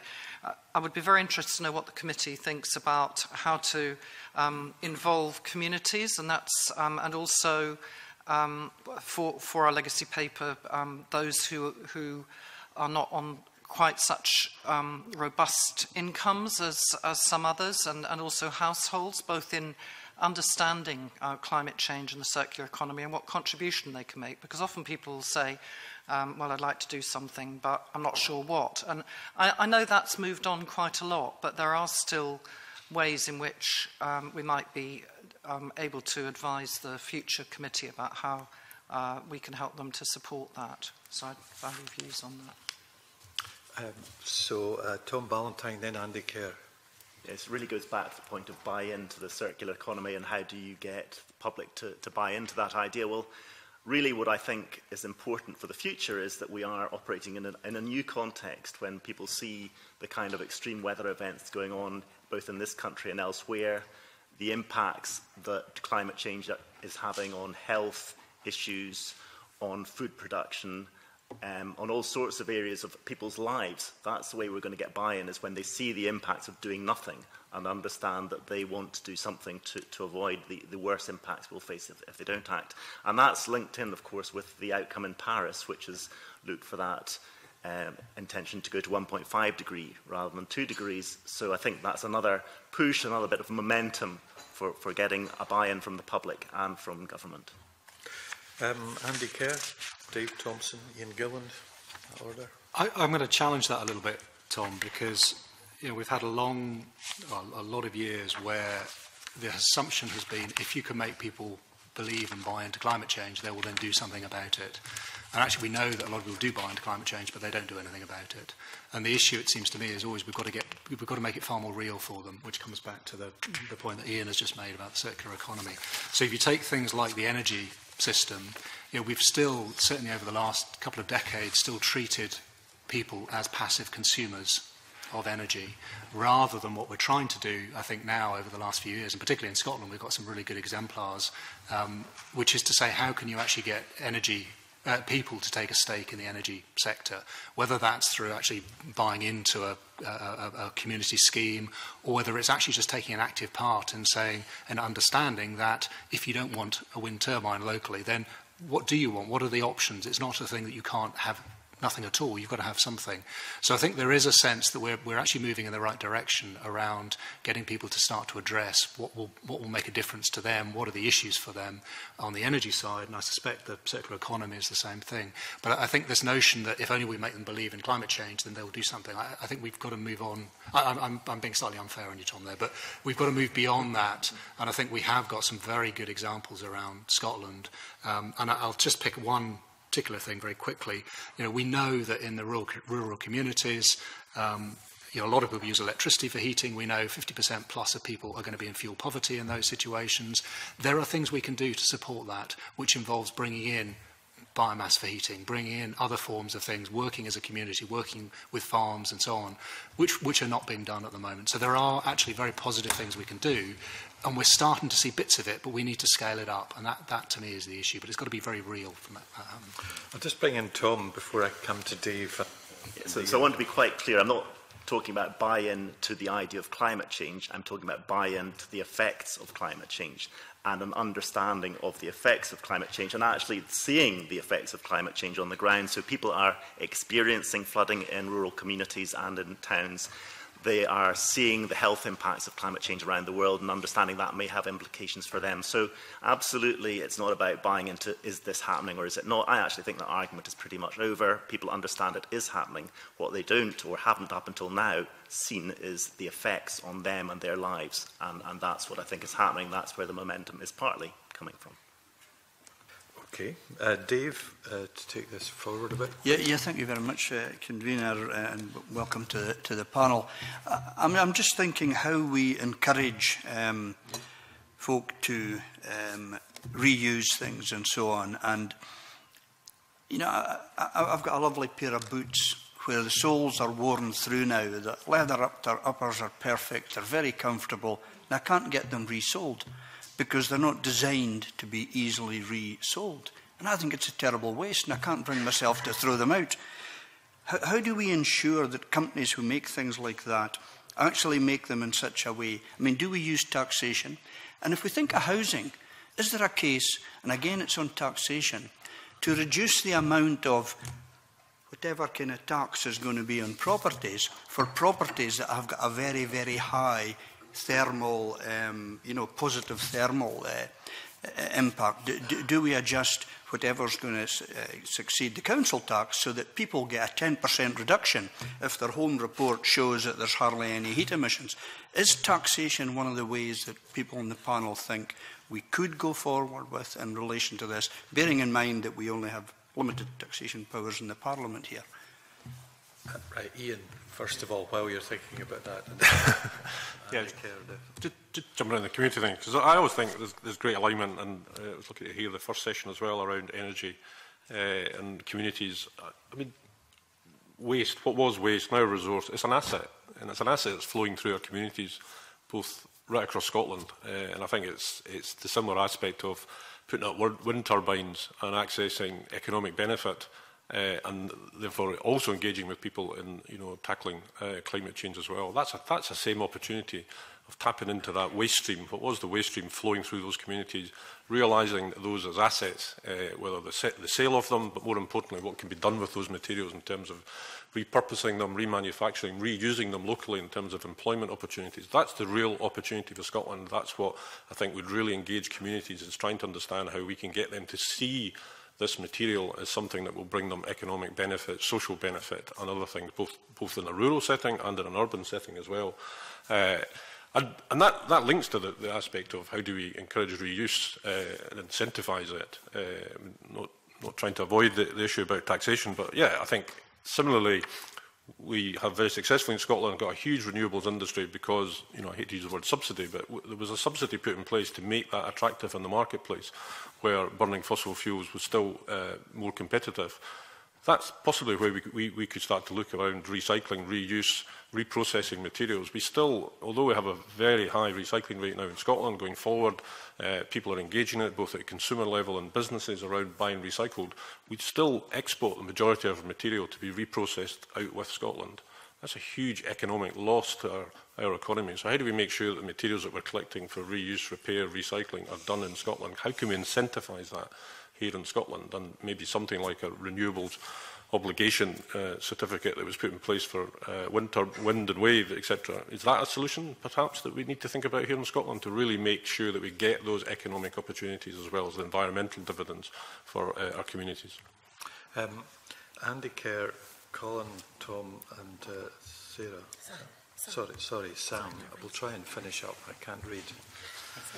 Um, the is yes. Um, we should be using taxation to support, um, and, and but only taxation as part of a wider set of tools, because uh, um, in Scotland, like most of Britain, uh, we obsess about upfront costs, not about running costs, and so we need to be aware that in itself that isn't the only thing. What you can also do though is the point at which you want to change behaviour is the point at which there is disruption in somebody's life. And so if somebody's moving house, that's the time to get in and do up the house. So if you can use tax as an incentive to improve the quality of the house and ratchet it every time that house is sold, you can actually move and retrofit houses really quite rapidly up through the system, um, but not on its own in the absence of anything else because we will buy houses because we can afford them and they're in the place that we want. So.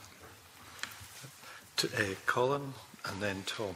And then Sam. Comment on, on the tax aspect of it, but I think, I think making people realise about the, the whole system approach um, can help a great deal. And, and you gave the example of the, of the shoe, but I've been giving an example from agriculture, we've been very good at breeding new crop varieties, which have increased yields enormously over the years. And uh, part of that process ended up with um, sort of barley, which was much shorter Uh, the problem with that was there was less straw then for livestock farmers to have as bedding material, um, whereas if you had started from the point of view that you were trying to supply two products, not one product, you would have a very different approach. That's a very sort of simple example. If you take a wider perspective, you might design something very, very different. And I think that, that back to the communication is about how do we design for the whole system and think about the whole cycle of the economy. And you need to be able to quantify the economic aspects at every point in the cycle to get that understanding.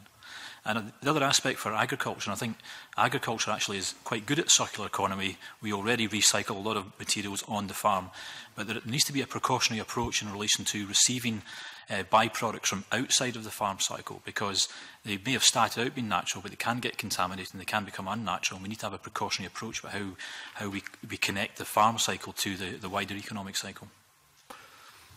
Uh, Tom, and then Sam, and then. I have a very simple principle about the, uh, taxation, and it's a kind of, for me, a no-brainer. Reward the behaviours you do want to see, disincentivise the behaviours you don't want to see, and on that front, I'll be interested to see what happens on something like air passenger duty, um, because to me, it's self-evident that if you want to see changes in behaviour, you have to reward the behaviours you want and disincentivise the behaviours you don't want. Okay. Uh, Sam and Sarah Boyack. Uh, just to follow up on that, um, the Scottish Parliament had the opportunities, I recall, to vary stamp duty to incentivise uh, improvements in energy efficiency in the housing stock. Um, that's been recently given more profile by Energy UK, um, the energy body uh, revisiting that, and I think it's an area that the Scottish Government might want to return to in the future. But I just wanted to highlight the role of regulation to complement tax, and particularly um, there are three key areas, I think, where there is growing consensus and evidence for the need for regulation to create markets. So in district heating, where we don't really have a, a, a heat district heating industry in Scotland, the introduction of regulatory measures are absolutely critical to incentivizing that, reducing the costs, giving investment uh, industry confidence that they'll get a return on that, but also protecting the consumer in the long term. In the housing sector, The Scottish Government's done an awful lot of work around modelling what the introduction of minimum standards at the point of sale and rental would look like. There is cross-party support for that, and we hope in the new parliamentary term, we expect, in fact, in the new parliamentary term, that there will be consultation on the introduction of those minimum standards, just as Andy says, at the point of sale, being the opportunity to uh, increase the energy efficiency of our housing stock, regulation being critical to doing that. And um, finally, in the urban environment, particularly where air quality is, is low, uh, and causing so many, uh, having so many consequences on public health, there is a clear need for regulation there. And I think all of these obviously fit within other committees perhaps, but there is a role for this committee in its monitoring of the RPP, which we might come back to, where there's a, often a data kind of deficit, to be able to highlight just the extent to which regulation, without being, providing the specifics, challenging the subject committee to do that, but identifying where there is a regulatory need – because the current package of policies or voluntary measures aren't proving to be adequate. Um, uh, Sarah Boyack and uh, Jim Hume. Uh... Yeah, thank you, Convener. Um, I suppose this has prompted a thought listening to people talking about this around the table um, that one of the things this committee hasn't done a lot of has been um, sending individual members off or sending people off in groups to go off and do mini reports and come back. And if we're thinking about the, we're just adding more and more new things to do. Um, and every time one of us speaks, a light bulb goes off my head and thinks that's a great idea. Um, so maybe one of the things the committee might want to recommend is for the next committee to think about um, short-term committee inquiries that come back um, rather than sending us all off around the country at the same time together. Because the, the comment that Andy made about um, you could change some of the fiscal measures. We actually did change in the Climate Change Act. Um, it's possible to reduce both business rates and council tax for energy efficiency or renewables installations. It's virtually never been used. I've asked some PQs on it. So your point about it has to be something that has leadership, government has to buy into it, and it would need to be part of an overall strategy. And I think that's um, the points that people have been making are really interesting about um, the kind of reality check, Dave's boots, I'm wearing a similar pair of boots. It's really frustrating. Um, and there is that repair thing that we're quite good on recycling. We've got some recovery mechanisms, but there's a, there's a gap in terms of repair, in terms of the economics and the skills, and, and just the sheer um, making that work in the market. So there's, there's a few things that we could quite usefully go back and have a look at beyond the headline of circular economy, all the bits that have yet really to come to fruition. Um, Thanks for that. Uh, Jim Hume to kind of be one of them. Yeah, yeah no, th th thanks, Convener. I'm, I'm very sorry to hear that Dave Thompson's uh, so down at heel, but uh, we'll, all, we'll all do a wee whip around to see if we can get my pair of new boots, since they can't get them resold. No, I, I think Dave made an interesting point to you about do we penalise or, or do we incentivise? I would always promote incentivising regarding our, our, hard, our hard-to-heat homes and across Scotland. I think it was just a, a timely reminder that Scottish Rural Colleges, they did, they did some work and uh, found out that rural Scotland, uh, we have 51% of our housing stock in what's called fuel poverty. So we have a lot of action to do, so I'm glad to hear these words today. We do, um, without opening up that particularly. But we're going to have a look at forestry and biodiversity next, so Mike Russell is going to lead on that. Thank you, Convener. I, uh, I want to pose four questions, um, which are not compulsory, and people do not have to answer all of them. Do, do not attempt to write on both sides of the paper at the same time. The first of them is, comes from Confor's um, uh, submission, and it is a question of the planting targets. Um, it is all very well to say we must meet the planting targets. They haven't been met uh, in the last whatever number of years. How do we meet these? If we agree that the planting targets are essential, and I think most of us do, how do we meet them? Uh, and there are obligations on the commercial sector to do more in that regard, um, which ties into the second of Confor's points about the availability of grant funding. I think that grant funding should be available um, and should be simpler to get, but the commercial sector perhaps are, are using it as a very strong excuse not to plant rather than uh, finding ways to plant. The second is the role of community. Uh, that actually uh, features quite strongly in the submission from the forest policy group. And eh, I think they're right to argue in forestry and in environment and in biodiversity matters that there should be public good from public money. Uh, Johnny uh, Hughes this morning made some very good points on that, which we didn't get the chance to explore fully. How should we structure the payment of public monies in order to get those public goods and in forestry and more widely? And what is, should our strategy be in terms of involving community or increasing democratic accountability in these sectors? The third is deer management. I'm sorry we didn't get to touch on it this morning. I think it's absolutely crucial in terms of where we're going on biodiversity and uh, tackling the issue of deer management at last, after two centuries of failing to tackle it, would be a noble ambition for the next committee, I would have thought, even if uh, rather a big one. And the final, I think, point is tied up, ties it all these together, which is the question of a land use strategy. We touched on it briefly in the first section, but it is an important issue here too. Almost, well, certainly half the submissions we had uh, were mentioned the need for a coherent land use strategy. There will be a land commission established by the land re the reform bill, presuming that goes through at its third stage next week. Um, what is that commission going to do to bring about that strategy? And how will that strategy affect not just forestry, but the wider question of ensuring that we have a healthy, thriving, biodiverse Scotland, uh, and also one in which those sectors are contributing to the issues of climate change. I think that's probably enough to get started with. Well, indeed, I think, and uh, as you say, deer management is certainly a part of that, something which the committee had a united view upon when we recommended the government take tougher action. But uh, thinking about forestry and deer together are often quite a useful combination. Um, do you want to start off, Stuart? Yeah. Uh, yes, thank you very much for that.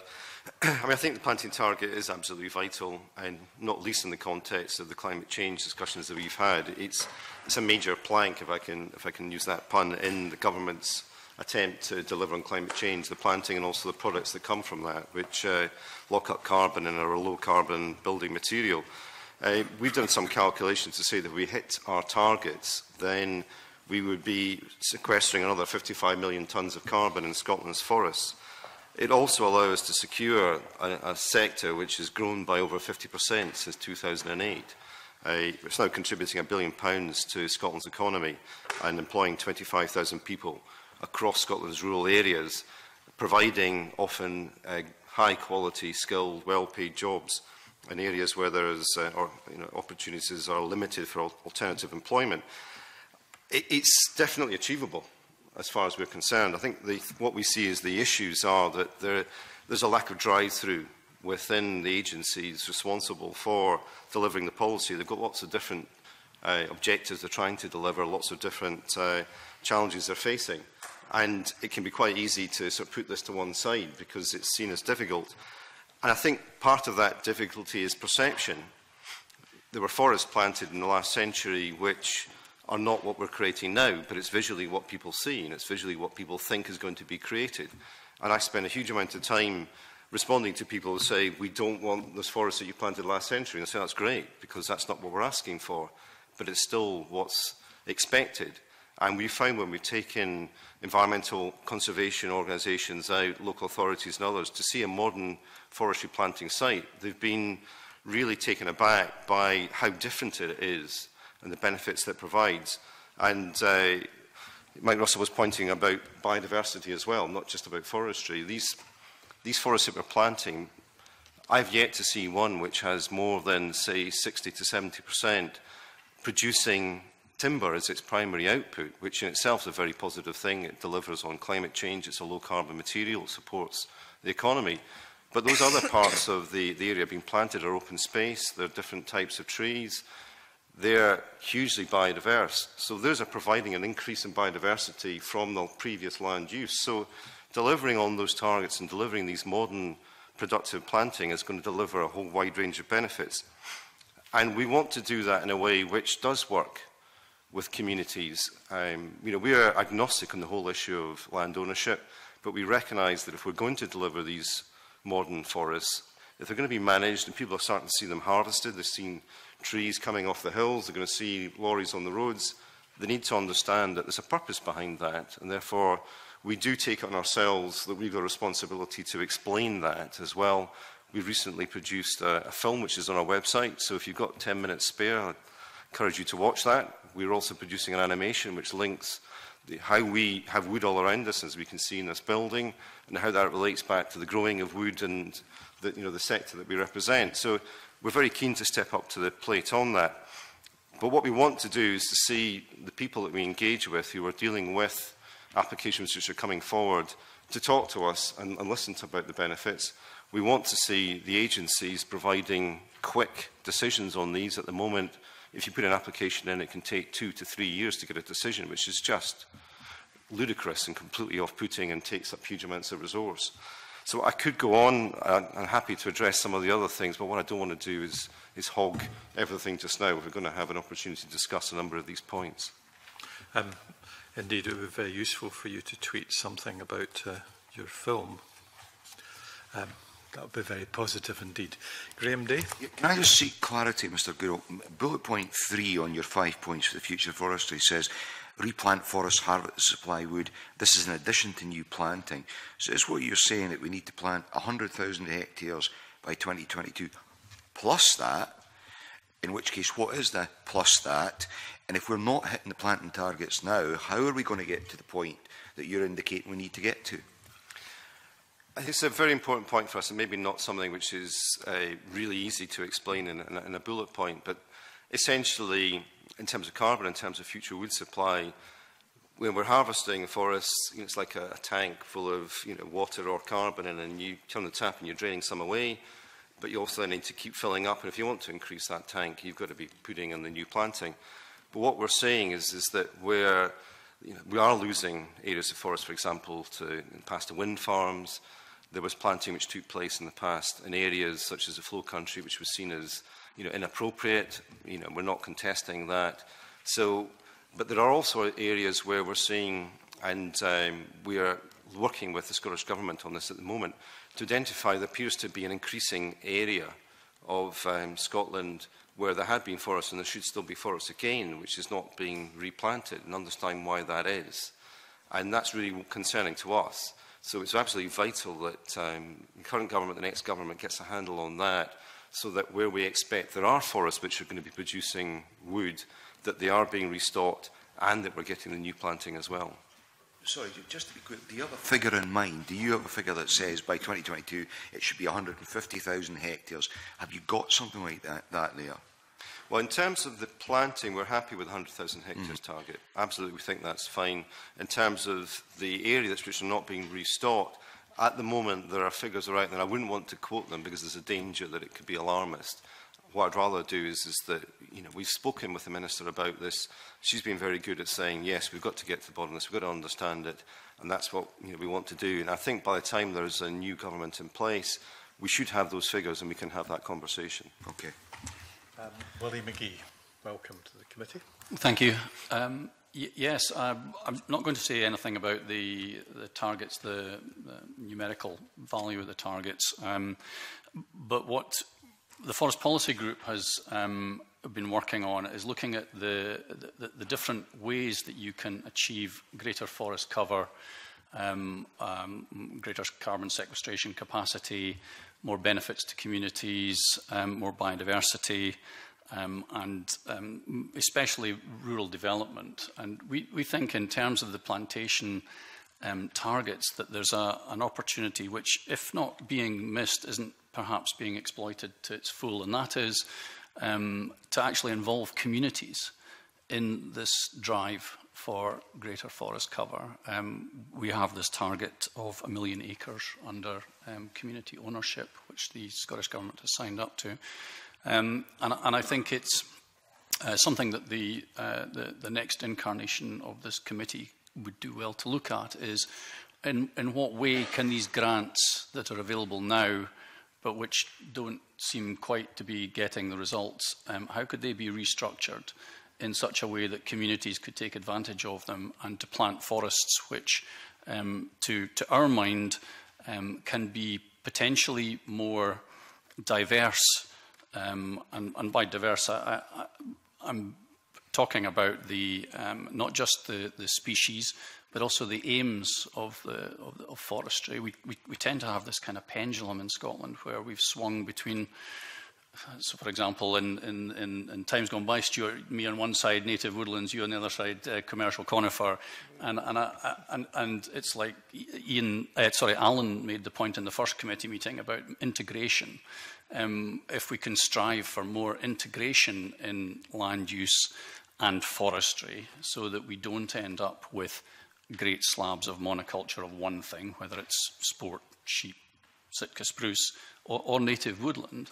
Um, but think a little bit more constructively. I, I think that the, the message would get through to more farmers and more landowners who at the moment possibly, I'm not saying they do, but they possibly look at the grant incentives and think, well, that, that kind of forestry or that that's on offer is not for me.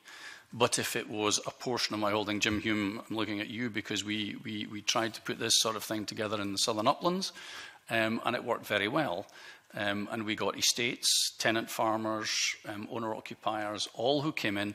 They, they weren't planting 500 or 1,000 hectares at a time, but they were bit by bit by bit. And, and perhaps in terms of the, the actual targets themselves, if we look at um, a, a little bit of innovation um, and also greater community involvement and looking at, at local development, rural development goals, um, then perhaps that might be more attractive. Okay, Jim Hume and uh, Alec Ferguson. Th thanks for that. Uh, Willie McGee, um, I should say both of us were trustees of Borders Forest Trust were uh, uh, uh, in the long distance past. So, where, which did do a lot of integrating uh, farming with forestry rather having farming versus forestry, which is quite often what we hear around this table. So to follow on from, from Willie's uh, point there, uh, it would be interesting to hear from as many members uh, that around this table as possible what their views are on rather than competing for land, uh, we look at opportunities for diversifying land, and that could be, uh, as Willie's already alluded to, farmers actually getting the opportunity to perhaps plant blocks of forest, which could be uh, productive or could, of course, have uh, wider environmental benefits also. Um, Alec Ferguson and then Claudia Beamish. Yeah. Um, thank you. If I could make two points, which are like bees in my own bonnet, one of which was um, prompted by something Stuart Goodall said, which was about the loss of uh, forestry to wind farm development. My understanding is that it's supposed to be a policy that um, ensures that compensatory planting takes place. Um, I've asked several questions over the years to try and find out whether that is being adhered to. My understanding is that it's not. But uh, I think that's something a successor committee might want to look at in terms of helping to meet some of the planting targets that are being spoken about. The second point I would make, uh, I, and I'm not sure if we're coming on to flooding and flood mitigation later, convener, are we? Sure. in which case I'll leave it, but I just, well, I'll, I'll just make the point that I do believe the private forestry sector, in, and indeed the public forestry sector, has a huge role to play in how we address flood mitigation going forward. I don't think it has been enormously involved in these discussions at this point in time, but I think it needs to be, and again, that's for the future. But could I just leave, leave this with just one question to William McGee, I think, is that uh, I mean, your, your vision of, of how forestry uh, planting takes place in future is, is I totally understand. But how do you tie that? How do you tie that in with the need? And I think it's agreed there is a need to maintain, uh, you know, a sustainable and vibrant commercial uh, forest industry, which is what it is, which is hugely important as well to rural employment. I'm very glad you asked me that question.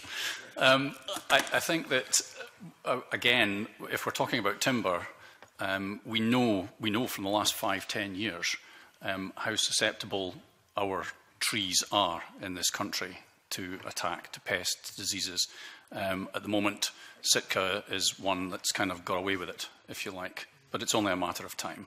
Um, and, and I think that there, there is an appetite amongst the sawmillers, amongst the processors, to look at different species. And I think that um, certainly the Forestry Commission, who I would applaud for their um, diverse conifer grant, which is an attempt to get people to plant, um, albeit often exotic conifers, but, but, um, but to try and move away from this reliance, this very heavy reliance on Sitka spruce.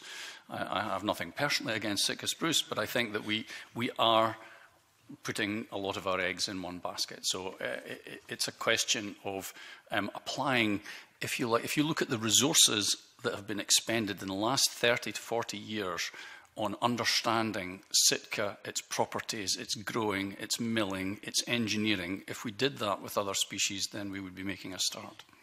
So if I, can I just finish that yep. off by, by asking Stuart and yourself, Stuart Goodall uh, and yourself, can you two work within the holistic vision that Alan Laidlaw was referring to in the first panel as we go forward?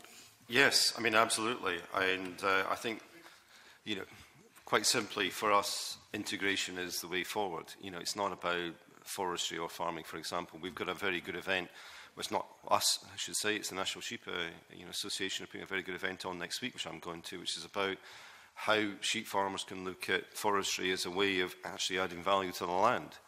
Uh, it's about how they can uh, put uh, you know, shelter belts in of a scale which will deliver um, forestry um, you know, on a commercial scale, whether that's uh, uh, you know, commercial softwood forestry or, or native woodland or whatever, without undermining sheep production. You know, it can be done. I think what we have is we've created a sort of silo thinking over the decades, which reinforced by the way the cap is, is structured to create that uh, separation.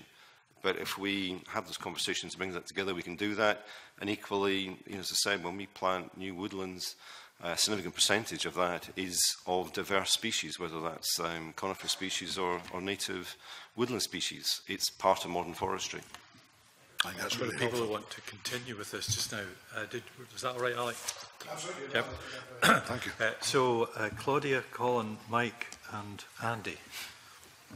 Uh, thank you, Convener. Uh, uh, what, no. what I wanted to raise has been touched on, but the actual term agroforestry seems to have a, a resonance here, and that might take us later on to um, dealing with flooding and climate change as well. But as, as, as um, we've, we've talked in terms of climate change already of about, uh, uh, uh, uh about incentivisation, and I'm just wondering the extent to which um, agroforestry, which has come up in this committee, uh, might have a, a value in the future. So it's a quick point if people could just um, respond very briefly on that in terms of time. And That's my right. other, I'm sorry, I do have another question. For yeah. the legacy, in, uh, we've touched as well on um, plant health, which the committee has done a great deal on, and I do think that's a very important um, issue if there are any further comments on that before we move on. So Colin, Andy, and then Willie. Thank you. This actually um, follows on very nicely from what Claudia said, actually. I mean, one of the options we've got for more trees is on farms. And uh, unfortunately, this is what we sometimes call a squeeze middle. There's many demands on it. And we need to understand the reasons why farmers don't want to plant trees on farms. And there's a lot of good work being done in this area already. Um, but there are multiple benefits. There's a lot of scientific evidence for everything that Stuart said about the benefits of, of, of trees. Um, and the, the flooding one is another one that's going to come up, but I think we've got less scientific evidence of that yet. We know theoretically that actually there's a lot of potential benefits for it. Um, so there's potentially lots of good reasons to grow trees on farms.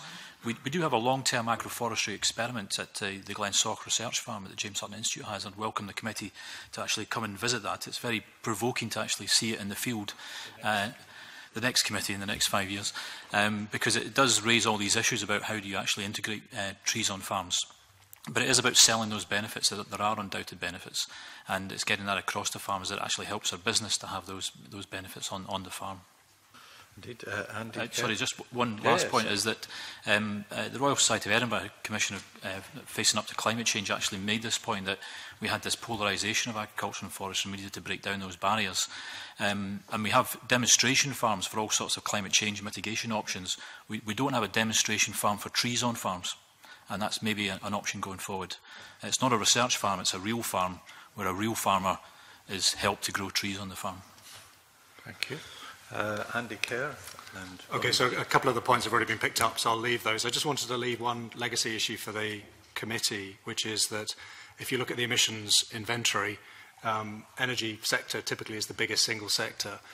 After this year, rural and the rural sector essentially will be the biggest sector. That will mean the attention for the next committee will be very much on what people are doing because at the moment we have the forestry sector, which is the biggest sequester, huge benefit to the country's emissions targets. And you have everything else, which is, and people will start to say, why aren't you being imposed on as other businesses and industry being imposed on? So I think the, the, the next committee needs to be aware of that as being a real rising issue as a, as a legacy point. Um, and, and the other point I was going to bring up was, was actually being picked up already about the flooding, so I'll, we'll come back to that later. Okay, uh, William McGee.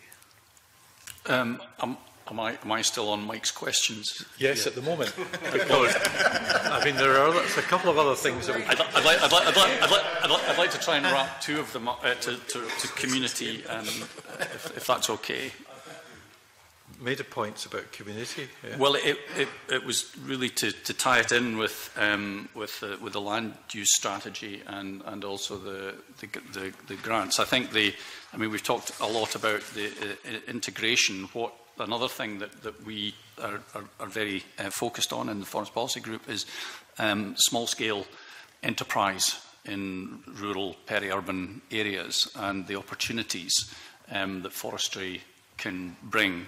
And, and that um, is for um, anything from climate change related, whether it's biomass, firewood, um, um, harvesting, uh, uh, and that enterprise which relies on being able to get access to these small areas. Now, the Scottish Government has been very um, instrumental in pushing one initiative through, the Scottish Woodlots um, Association. That's, that's a great boon to allowing people to access more land, the public, community, um, and money's going into grants for small woodland owners um, feeds its way all the way through to um, things like social justice, um, greater control over local resources, um, and, and partly links to our point about uh, the management of the state forests. We've not touched on that, I'll kind of I can I can park that, but. Um, we would like to see, if you like, the community in the same way that in plantation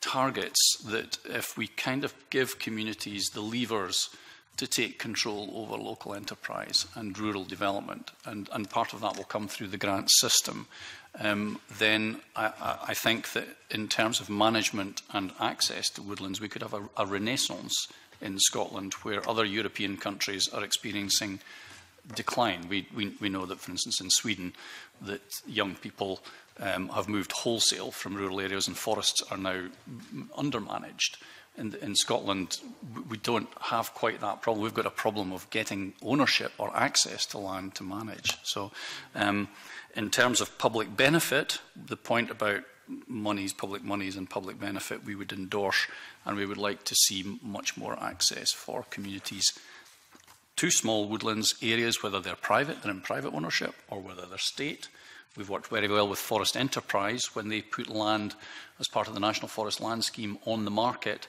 They have listened and they've they've subdivided. They've put small lots so that local communities or businesses could access these areas. Um, and I think that this committee has played its role in that, uh, in, the, in that kind of move forward. Thank you for that. Uh, Jim Hume's got a small question. Eh, it was more a, more a point to just uh, okay. following up from Colin Campbell's point that the James Hutton Institute doesn't have any demonstration farms where agriculture is integrated with uh, integrated with ag uh, forestry, but two past directors of Borders Forest Trust, Willie McGee and I, have probably 20 years of experience where there's a plethora of farms. So contact the Borders Forest Trust. We've been on the go for 20 years. They're celebrating tonight their 20 years anniversary in this very Parliament, which I'm hosting in the Members' Room at 6 o'clock. So you can all, all come along to hear how that's actually been happening for 20 years. no, no, no, no, no. okay, well, um, non-pecunious interest. That, that's, that's useful information. I'd like to try and move us a bit into biodiversity, but I want Mike to be able to come back just on the, on the forestry. But before you do, um, my point, you know, and it leads to biodiversity, we need to be growing timber for building purposes. That means timber that takes a lot more looking after. One of the species is under threat, large. Douglas fir, maybe less so at the moment. Pun? Western so, red cedar. So we need to make sure that we're growing yeah. as many of these kinds of species in the commercial forestry as possible so that we will have a chance to move away from concrete and move into wood building. Because in the land reform discussions, we've uh, uh, talked about having more models of uh, buildings for crofters and farmers to live in, which would be eco-friendly in the way that the Crofters Commission did in the past. they had models for houses which they offered to people to, to be able to build, to buy. So we need to have the up-to-date kind of versions of these. If you read back the official report, you'll see that. But my point is, are we doing enough? Because they are more expensive to actually look after, Stuart, and raise. I, I, simple response is I think we can do all these things. and we are doing all these things. Um, just quickly on the, the issue of you know, sort of diversity and, and diverse conifers, we had done some work recently to looking at the area of uh, spruce that's been felled and what's been replaced. And we reckon only about 40% of the spruce that's been felled and re recently has been replaced. So I think there is a lack of appreciation of just how much change is going on out there. Um, when it comes to producing something which can be used in construction, which hugely keen to see. It's a very high value. It's great in terms of climate change because it locks up that product for a long time and wood is a very low carbon building material so therefore it delivers enormous benefits and it can deliver high quality housing as well. We've got a lot of work that um, Willie alluded to around spruce which allows us to use that and grow that for the future so that can be used especially in uh, volume housing but then there are more opportunities to use woods you know, such as Douglas fir, Western red cedar. Larch is still around and will be around for, for a while, but uh, it's not going it's not going to disappear in the next couple of years. And these are all things which we can build with. What I would say is, is that absolutely want to see small-scale local construction using small amounts of wood, but at the same time we want to ensure that we still feed the, you know, the mills and the others, which are the ones which are providing the, you know, the overwhelming number of those 25,000 jobs and the billion pound contribution to the economy. And there is an ability to look at um, different tree species, but they've got to be planted in volume. What we can't be saying is, let's plant a couple of hundred here and a couple of hundred there. You've got to do something on a strategic basis, which means if we're delivering those planting targets, we are looking at the forests that we have if we want to introduce greater diversity, it's got to be on the basis of producing a volume of those trees and not just a sprinkling of different types, because it won't work. Mike, do you want to come back on some of this just now? Yes, um, I'm, I have to say that meeting the target it seems to me the biggest objective, and I hope that the successor committee will examine very closely why that target hasn't been met and how it can be met, because everything else really pales into insignificance. If you can't meet that target, then not only jobs are at risk, but the contribution you're making to uh, climate change is, is greatly diminished. Um, I think that Willie's uh, strictures about involving the community are where things will need to go. I mean, that is a personal opinion, but I do think that the involving the community in more creative and constructive ways, meeting the objectives of increasing the amount of land under uh, community ownership whilst contributing to the targets and using public money to do that seems to be win-win-win, and I think it can be done constructively without losing sight of the strong needs of the commercial sector. And there's no reason why the community cannot be a key player in the commercial sector as well. And that adds another dimension to it. So I think there are all sorts of things that can be examined by and, and supported by a successor committee, but I do think it's a matter of urgency year on year, we say, oh gosh, we haven't met those targets again. I think there now has to be a determination to meet them uh, in the early part of the next Parliament. And that will also be part of the land use strategy issue, which we need to get a grip of, because there are so many issues coming in there.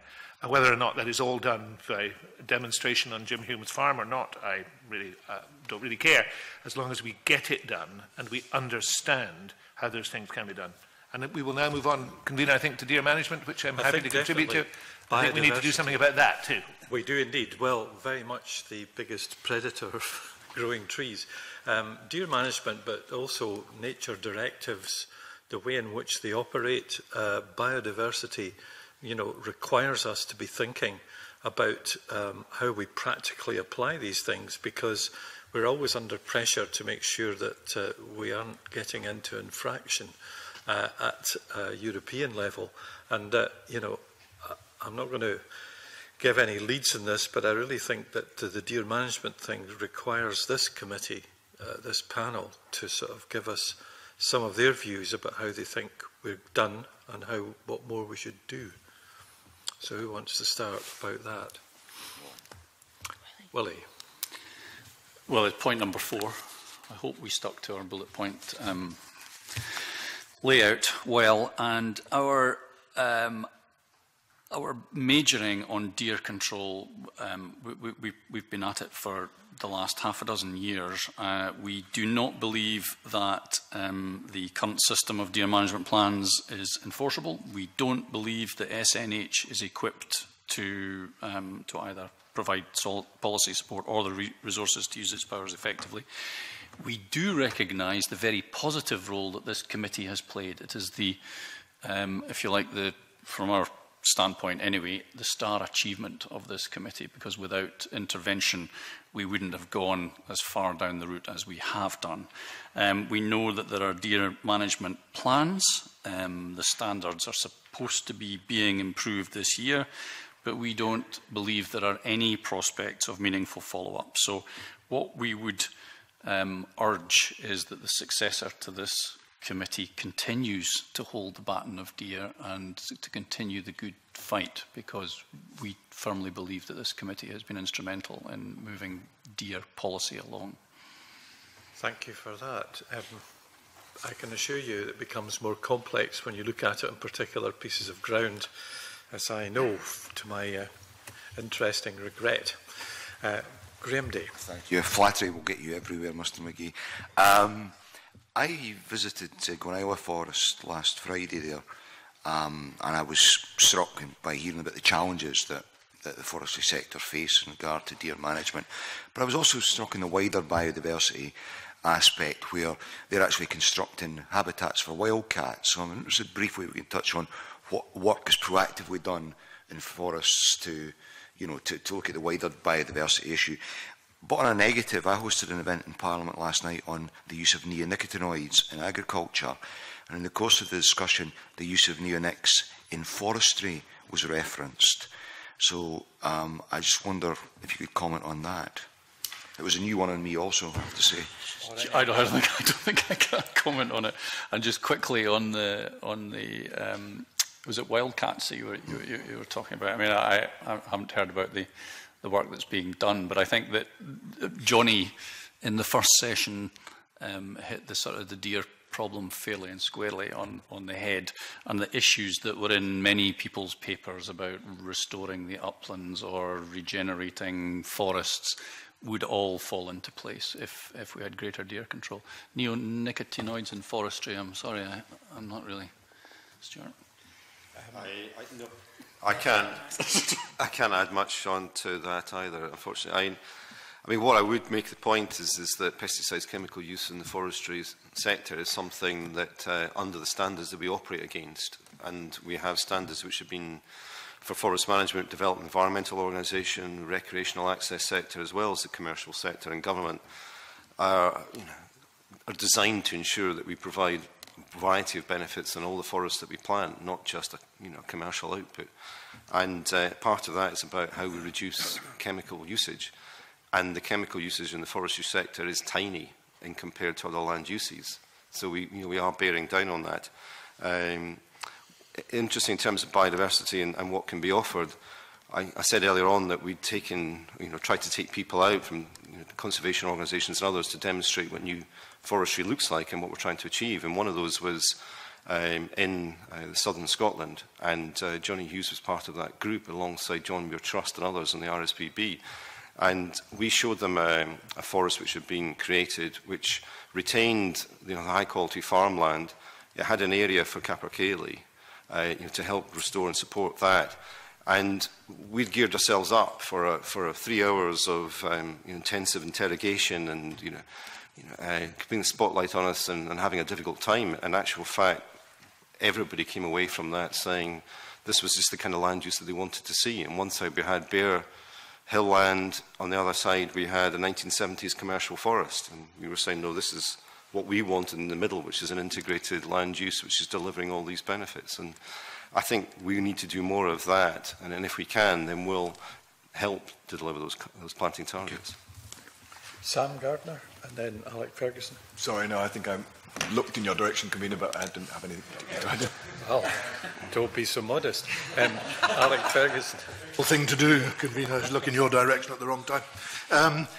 I just wanted to make one point about the, the, the restoration of biodiversity, particularly in upland and moorland Scotland, if I might, um, which is, um, I think, um, I hosted last week and Jim Hume kindly attended um, a, a briefing from an initiative called the Understanding Moorland Predation um, initiative, which we've been talking about holistic uh, ways of approaching things, and this has brought together such diverse um, organisations as the RSPB and the Gamekeepers Federation, who don't always uh, meet, Gamekeepers Association, sorry, don't always meet eye to eye, but on this occasion do.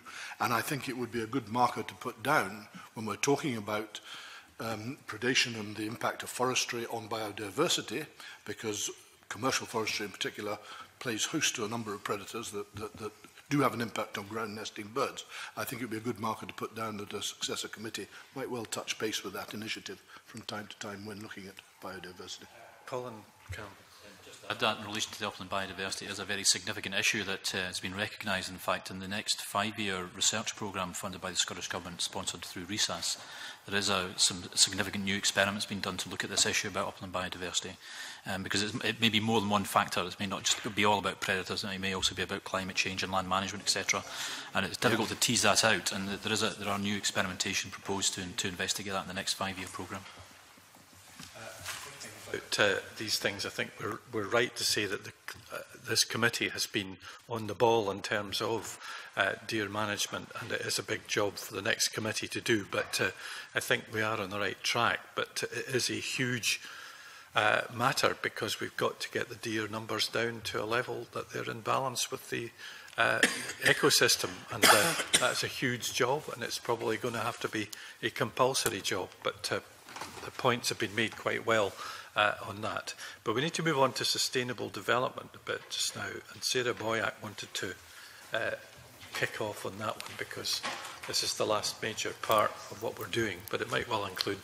urban matters like air pollution and things like that too.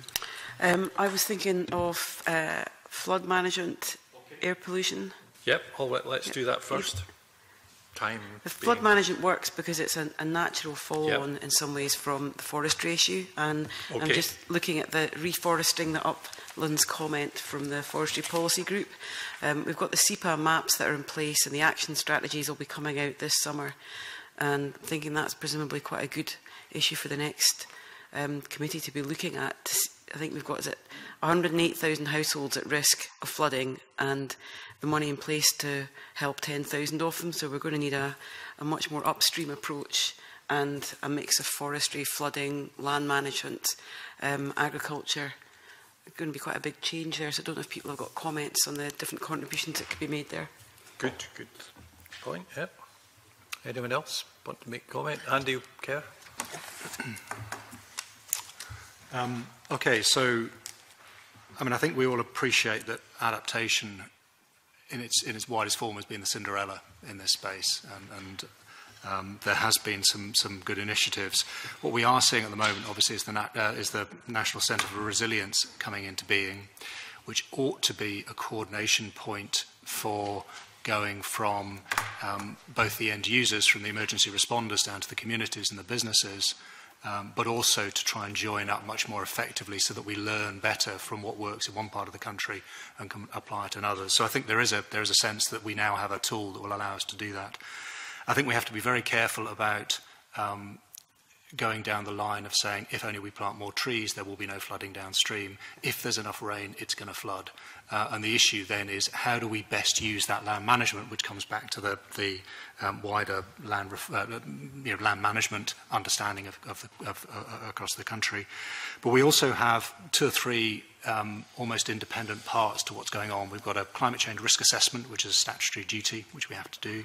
We have a Scottish risk assessment coming through, which is focusing on natural hazards as well as other things. So we've actually got lots of different elements which at the moment are not particularly well joined up. And I think the next committee needs to be able to look at how do we draw together those, both on the land um, management, the land planning framework, the uh, Scottish risk assessment, the climate change risk assessment, as well as the SEPA maps. What we do have now, because we've been working quite closely with a number of different partners, is we're finally starting to get some hard data about you know, how many houses are at risk, what are the issues? So we've got a whole set of indicators which allow us to see change as it starts to happen.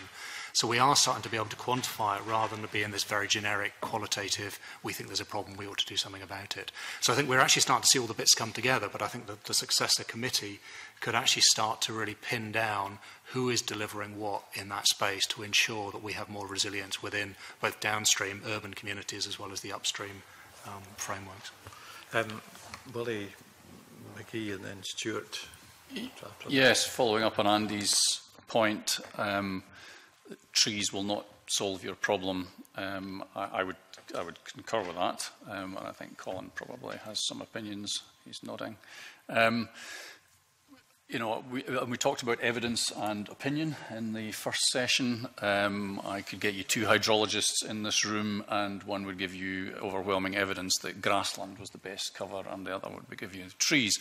Um, I think what, um, uh, from experience, um, certainly, uh, again, in the, in, in the southern uplands, and there's a lady sitting behind here who was involved at an early stage where we were looking at the upper Ettrick and um, floodplain um, mitigation. We know that whilst if enough rain falls, it will flood. Um, there are ways of um, making that, um, if you like, gentler and softer, if floods can ever be thought of in, in such terms, and that um, um, the landscape, the mosaic of land use that you have, and this comes back into the land use strategy, which is where its home in part should be, um, if you've got a mosaic of land uses and the water is not all being funneled down the Ettrick, Yarrow, Tweed, whatever, um, then um, you, you, you, will get buffering. Um, I hesitate to bring up beavers in this conversation, but they are part of biodiversity. Um, so gonna, I just throw that one in at the end. But, but in terms of in terms of Scottish, Scottish in terms of in terms of catchment management in the southern uplands, um, um, um, Tala and Games Hope, um, in, the, in the Moffat Valley, a large-scale native um, afforestation will help buffer the, uh, the water coming down. So, yeah. Andy, yeah. Uh, I agree, and one of the challenges certainly that we've seen in different parts of Scotland, particularly around the, the central belt, has been when you've got different councils covering different parts. So we're not treating the catchment as a, as a coherent environmental unit. Uh, and that has been a big problem. Exactly. So Alec Ferguson was going to make that point. Uh, if I could just expand on it briefly, yes, Camino, I mean, I absolutely, then... I think this is hugely important that we start looking at whole catchment management when it comes to flood mitigation and, and recent events in my constituency absolutely bring that home, frankly. Um, Willie, Willie said trees will not solve the flooding, flooding problem. Indeed, they won't. but the management of them and the management of their extraction, I would argue, can have a significant impact as I believe it has done in, in one particular area of my constituency, on how, how quickly water flows off the hills. Now, I think in terms of, we need to bring all stakeholders together in terms of catchment management. If, if we're, we're not going to stop floods, of course we're not, but I do believe we can mitigate some of their worst impacts uh, if we have, a, I hate the word holistic too, but we keep coming back to it in, around this table, if we have a genuinely holistic look at how this could be managed better, I do believe results could be achieved. And not necessarily that expensive either. Uh, Stuart Goodall. I think there's a lot of consensus uh, in the conversation there, and I'm just going to reiterate much of what was said. in fact, you know, we've done a lot of work and uh, with forest research and others about the, the, the role that forestry can play, you know, slowing the flow so that uh, flood defences aren't overwhelmed, but that's not replacing flood defences. You need hard engineering. But you also got to design where those, uh, those forests are, because what you don't want to do is then have a number of different forests which are all holding back the water at the same time and then releasing it at the same time. So you, there's an awful lot that needs to be looked at. What I would say is that that doesn't mean that it's something you then kick into the long grass, so to speak, for 50 years you can look at this. There are models out there. Um, we've done a lot of work, as I said, with forest research. We've looked at this in northern England, where you know, they're equally afflicted by, by flooding events. And I think there's a lot of positives that can be taken forward. Uh, so we're very happy to be you know, contributing to that for the future, but it has to be as an integrated whole catchment approach.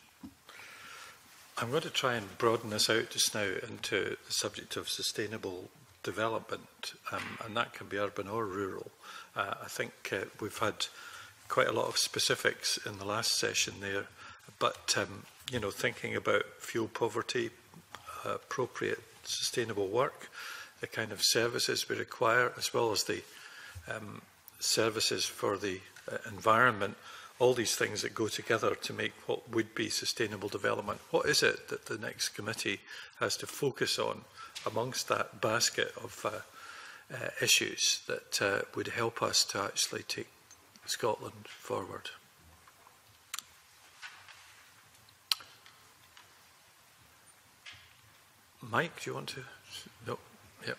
Well, you can prompt them as well. Prod them. Yes. Um, I think that is almost impossible. I don't want to disagree with you, convener, too much to answer at this particular stage because I don't think this committee is also just as you know, we were having this discussion earlier on about what committees do and how they operate. The committee is also a creature to some extent of government and time. And I think the, the, the political issues of the election, the issues presented by bodies around this table, the issues that the government, a new government will bring forward will dictate to some extent, to some great extent actually, what the, this, the successor committee chooses to do. There are some core issues that the committee, if, it, if, if the committees are constituted in the same way, cannot ignore. And I think the most important of them is to go back to where we very much started here, which is, I think, driving forward the issues of climate change and action about climate change uh, within this Parliament. I mean, I think that is the most important responsibility of the committee. Um, and strangely enough, that's probably not been in terms of time that the committee has spent uh, probably the bulk of its time has not been spent on that action uh, for a variety of reasons. So I think we have to find a way that that's done. Underneath that comes a range of other issues uh, which need to be actioned.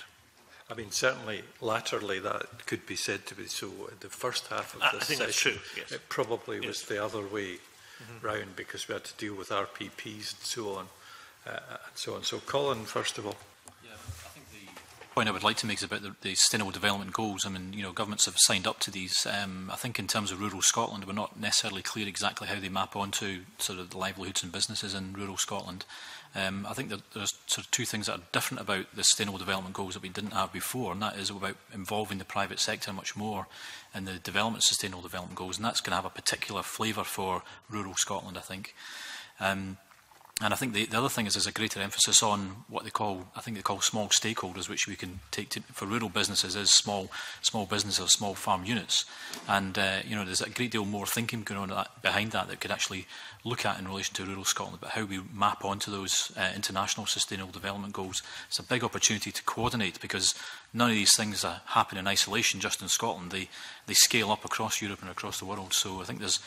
thinking about how they, they map onto rural Scotland is a, uh, an important thought exercise.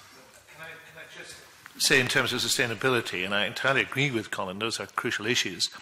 Survival is actually an issue in many parts of rural Scotland. For example, in the areas that I represent, sustainability we all understand, or think we understand what words mean, depopulation, an aging, an aging population, lack of economic opportunities, um, increasing cost, uh, problems with local government, those become issues of survival in rural Scotland, and the committee will need to be in a position to try and address those. Th that's not to say that these high-level, and they are high-level discussions, are not vital, but at, at, at, at very much at grass and islands root level, there are some really crucial issues that have to be decided about how you sustain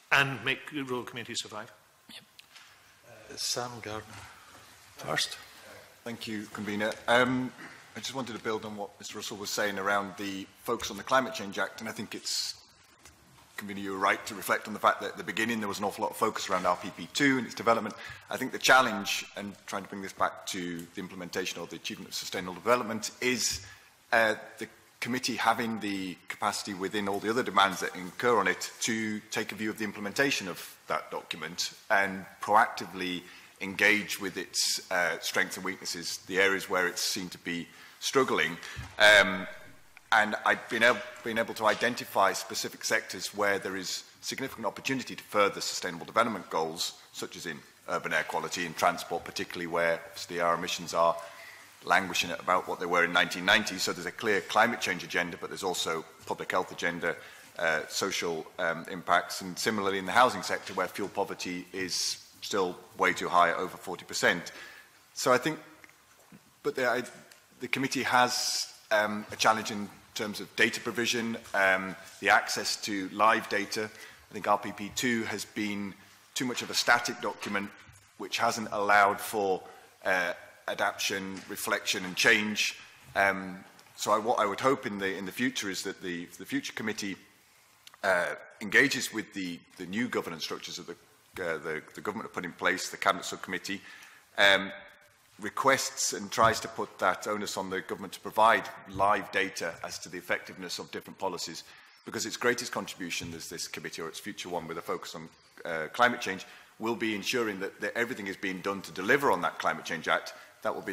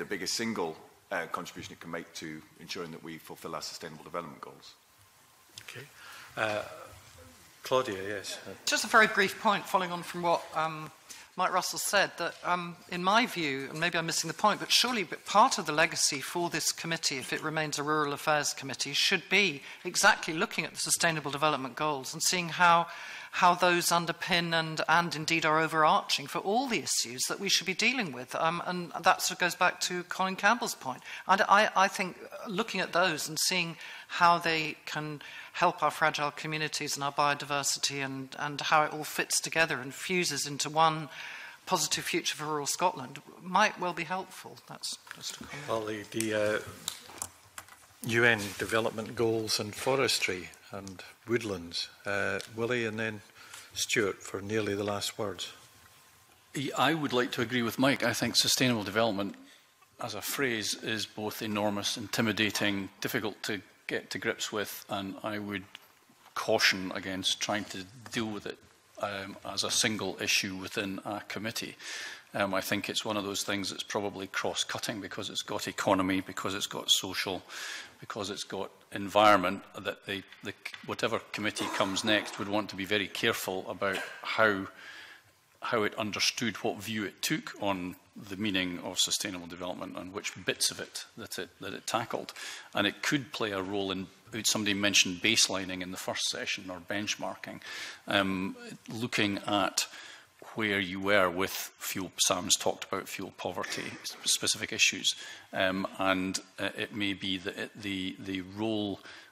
that the committee played was in that, that prodding role that you alluded to, um, Rob, earlier on, um, of other committees that had uh, some of the social and the economy elements under their um, power, if you like. Okay, uh, Stuart Goodall and uh, Ian Gulland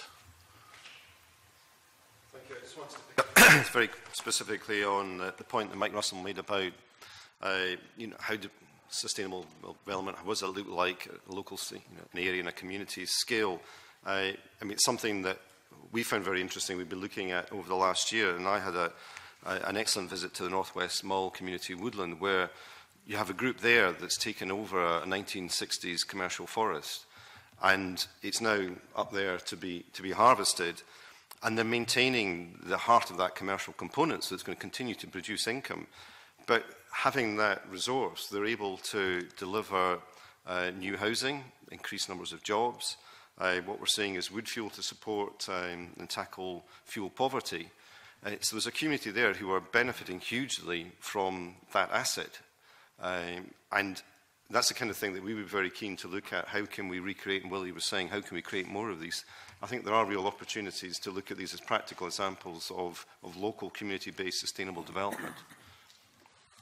Uh, Ian. Uh, it's really just going back to the idea of the circular economy, which we talked about earlier, which is obviously very exciting for Scotland, but I think there are huge opportunities to do that across the whole of Scotland, not just consider that the opportunities in the central belt. Uh, you know, the, the work that we've done to identify those opportunities, particularly in some of the key sectors, the agricultural sector, the, the beer and uh, fish farming, uh, and the whisky industry are across Scotland. Uh, and I think that's really possibly something that the committee should, the future committee should bear in mind as, we move towards this idea of a circular economy in Scotland is how do we make sure that we get those jobs and economic opportunities in the rural parts of Scotland because they are there. Uh, this is not about sucking all of the materials out of Scotland into the central belt to, to, to, to reap benefit. This is about real opportunity for jobs, you know, work that's carried on at both Scottish level, UK level, you know, sees opportunities upwards of, of 17, 18,000 jobs. These are in communities up and down the breadth of Scotland, including repair, you know, people, you know, fixing shoes uh, all over Scotland, not sending them away to some factory or, or processing in, in the central belt. That's what this is about. This is what the opportunity is Uh, and so I think what I'm listening to is the same challenges in agriculture and, and forestry and how do we engage communities and get them to understand that there is real benefits in, in doing things differently and it's the same for me in the circular economy and I think that shouldn't be forgotten about going forward. I think that's a very good way in which perhaps to wind this up just now. Um, I, like Mike Russell, represent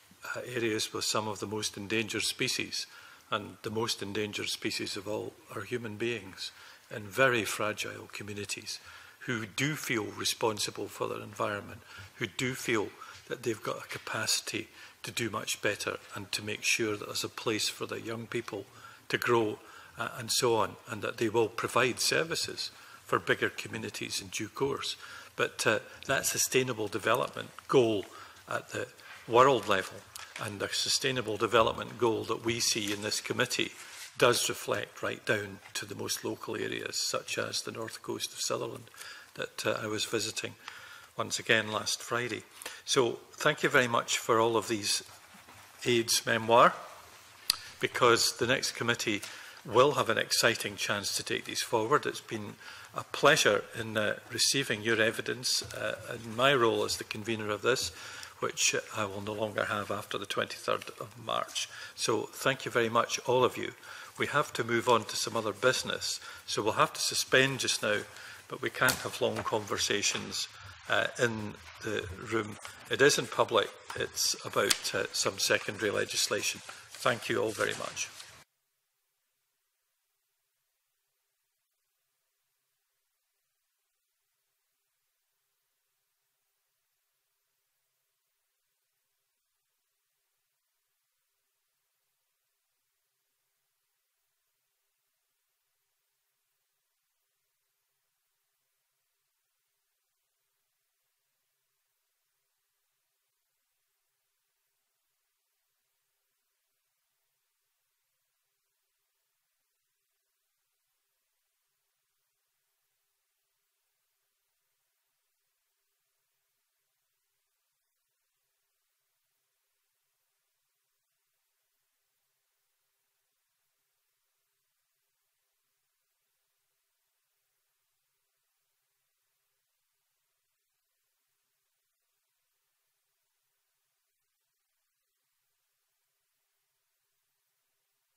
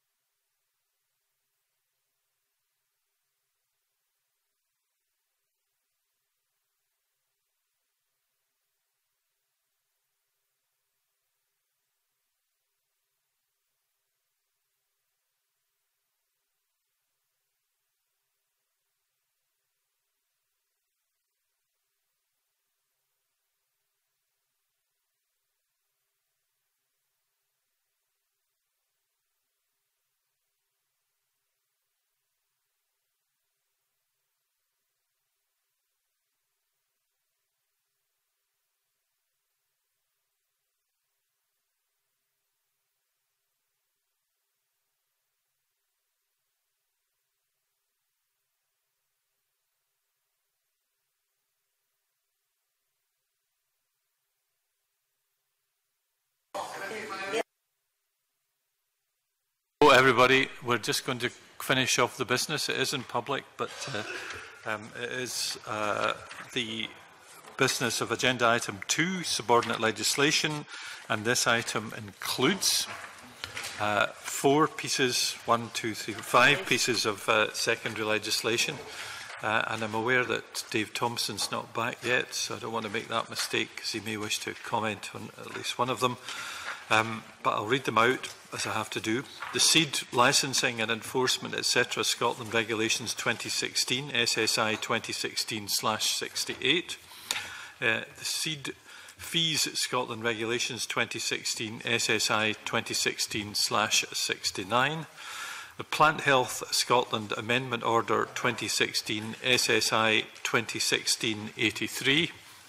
uh, the Wester Ross Marine Conservation Order 2016 SSI 201 uh, 2016 88 and uh, the Loch Sunert to Sound of Jura Marine Conservation Order 2016 SSI 2016 90. I refer members to the paper and I'll take them in turn. Uh, does anyone have any comments on the seed licensing enforcement? Huh? uh, on the seed fees, on the plant health, on the Wester Ross Marine Conservation Order. Plant health. Yeah. Thank you. Um, it, it's actually a matter of process rather than content. I did attempt to read it, and page 23 to 24,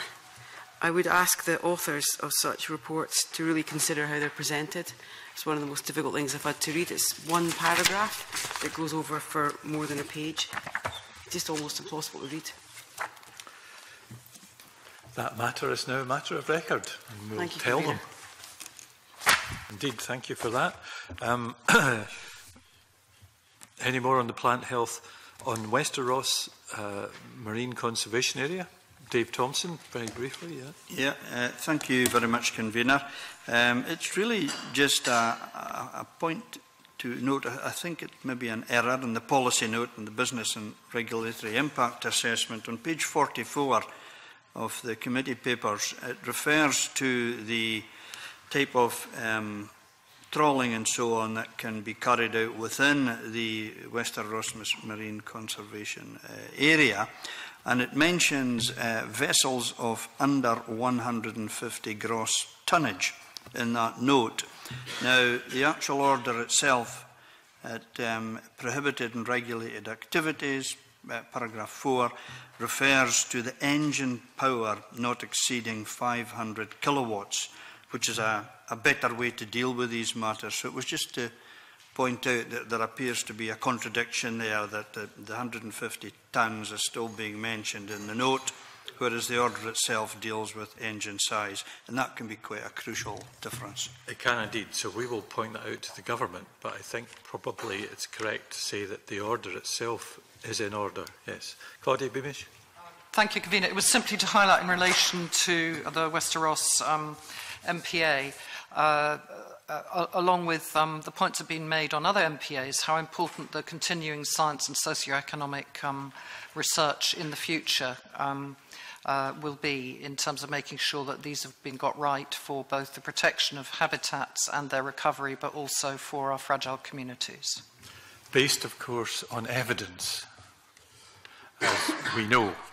it's That's essential that we have the information and the research to do so. Uh, thank you. I uh, very much welcome uh, the Wester Ross Marine Conservation Order uh, and I believe it's going to work very well and that there will be integration between the different sectors and we'll have to see that they are reviewed, of course, so that we make sure that there isn't unintended consequences. Uh, the Loch Sunert to Sound of Jura Marine Conservation Order, Mike Russell. I want to put on record two points. The first of which is this is the final um, uh, order affecting uh, my constituency, MPA affecting my constituency at this stage. And whilst I think everybody welcomes them, the process as adopted by Marine Scotland in putting them together in my constituency was not acceptable. And people, people, people found it unacceptable because they understood things were happening or being done which didn't happen. That must be avoided. And in the future, I would hope that the process of making changes uh, to designations or creating new designations is a collaborative and participatory process for all those involved, and particularly those who are making their living in the area, rather than an imposition.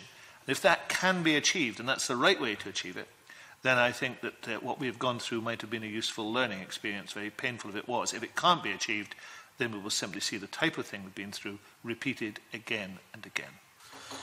Thank you very much for that. So um, we've made comments as we wish, and uh, I thank members for that. So as the committee agreed that it does not wish to make any recommendations in relation to these instruments? No, we are agreed. Thank you. So, future meeting details. At our next meeting of the committee, we'll consider several items of sub-ledge and uh, petitions on wild goose numbers and conserving wild salmon. Uh, we will also consider drafts of our annual report and legacy report. Uh, I now close the meeting. Thank you, everybody, for your particip participation.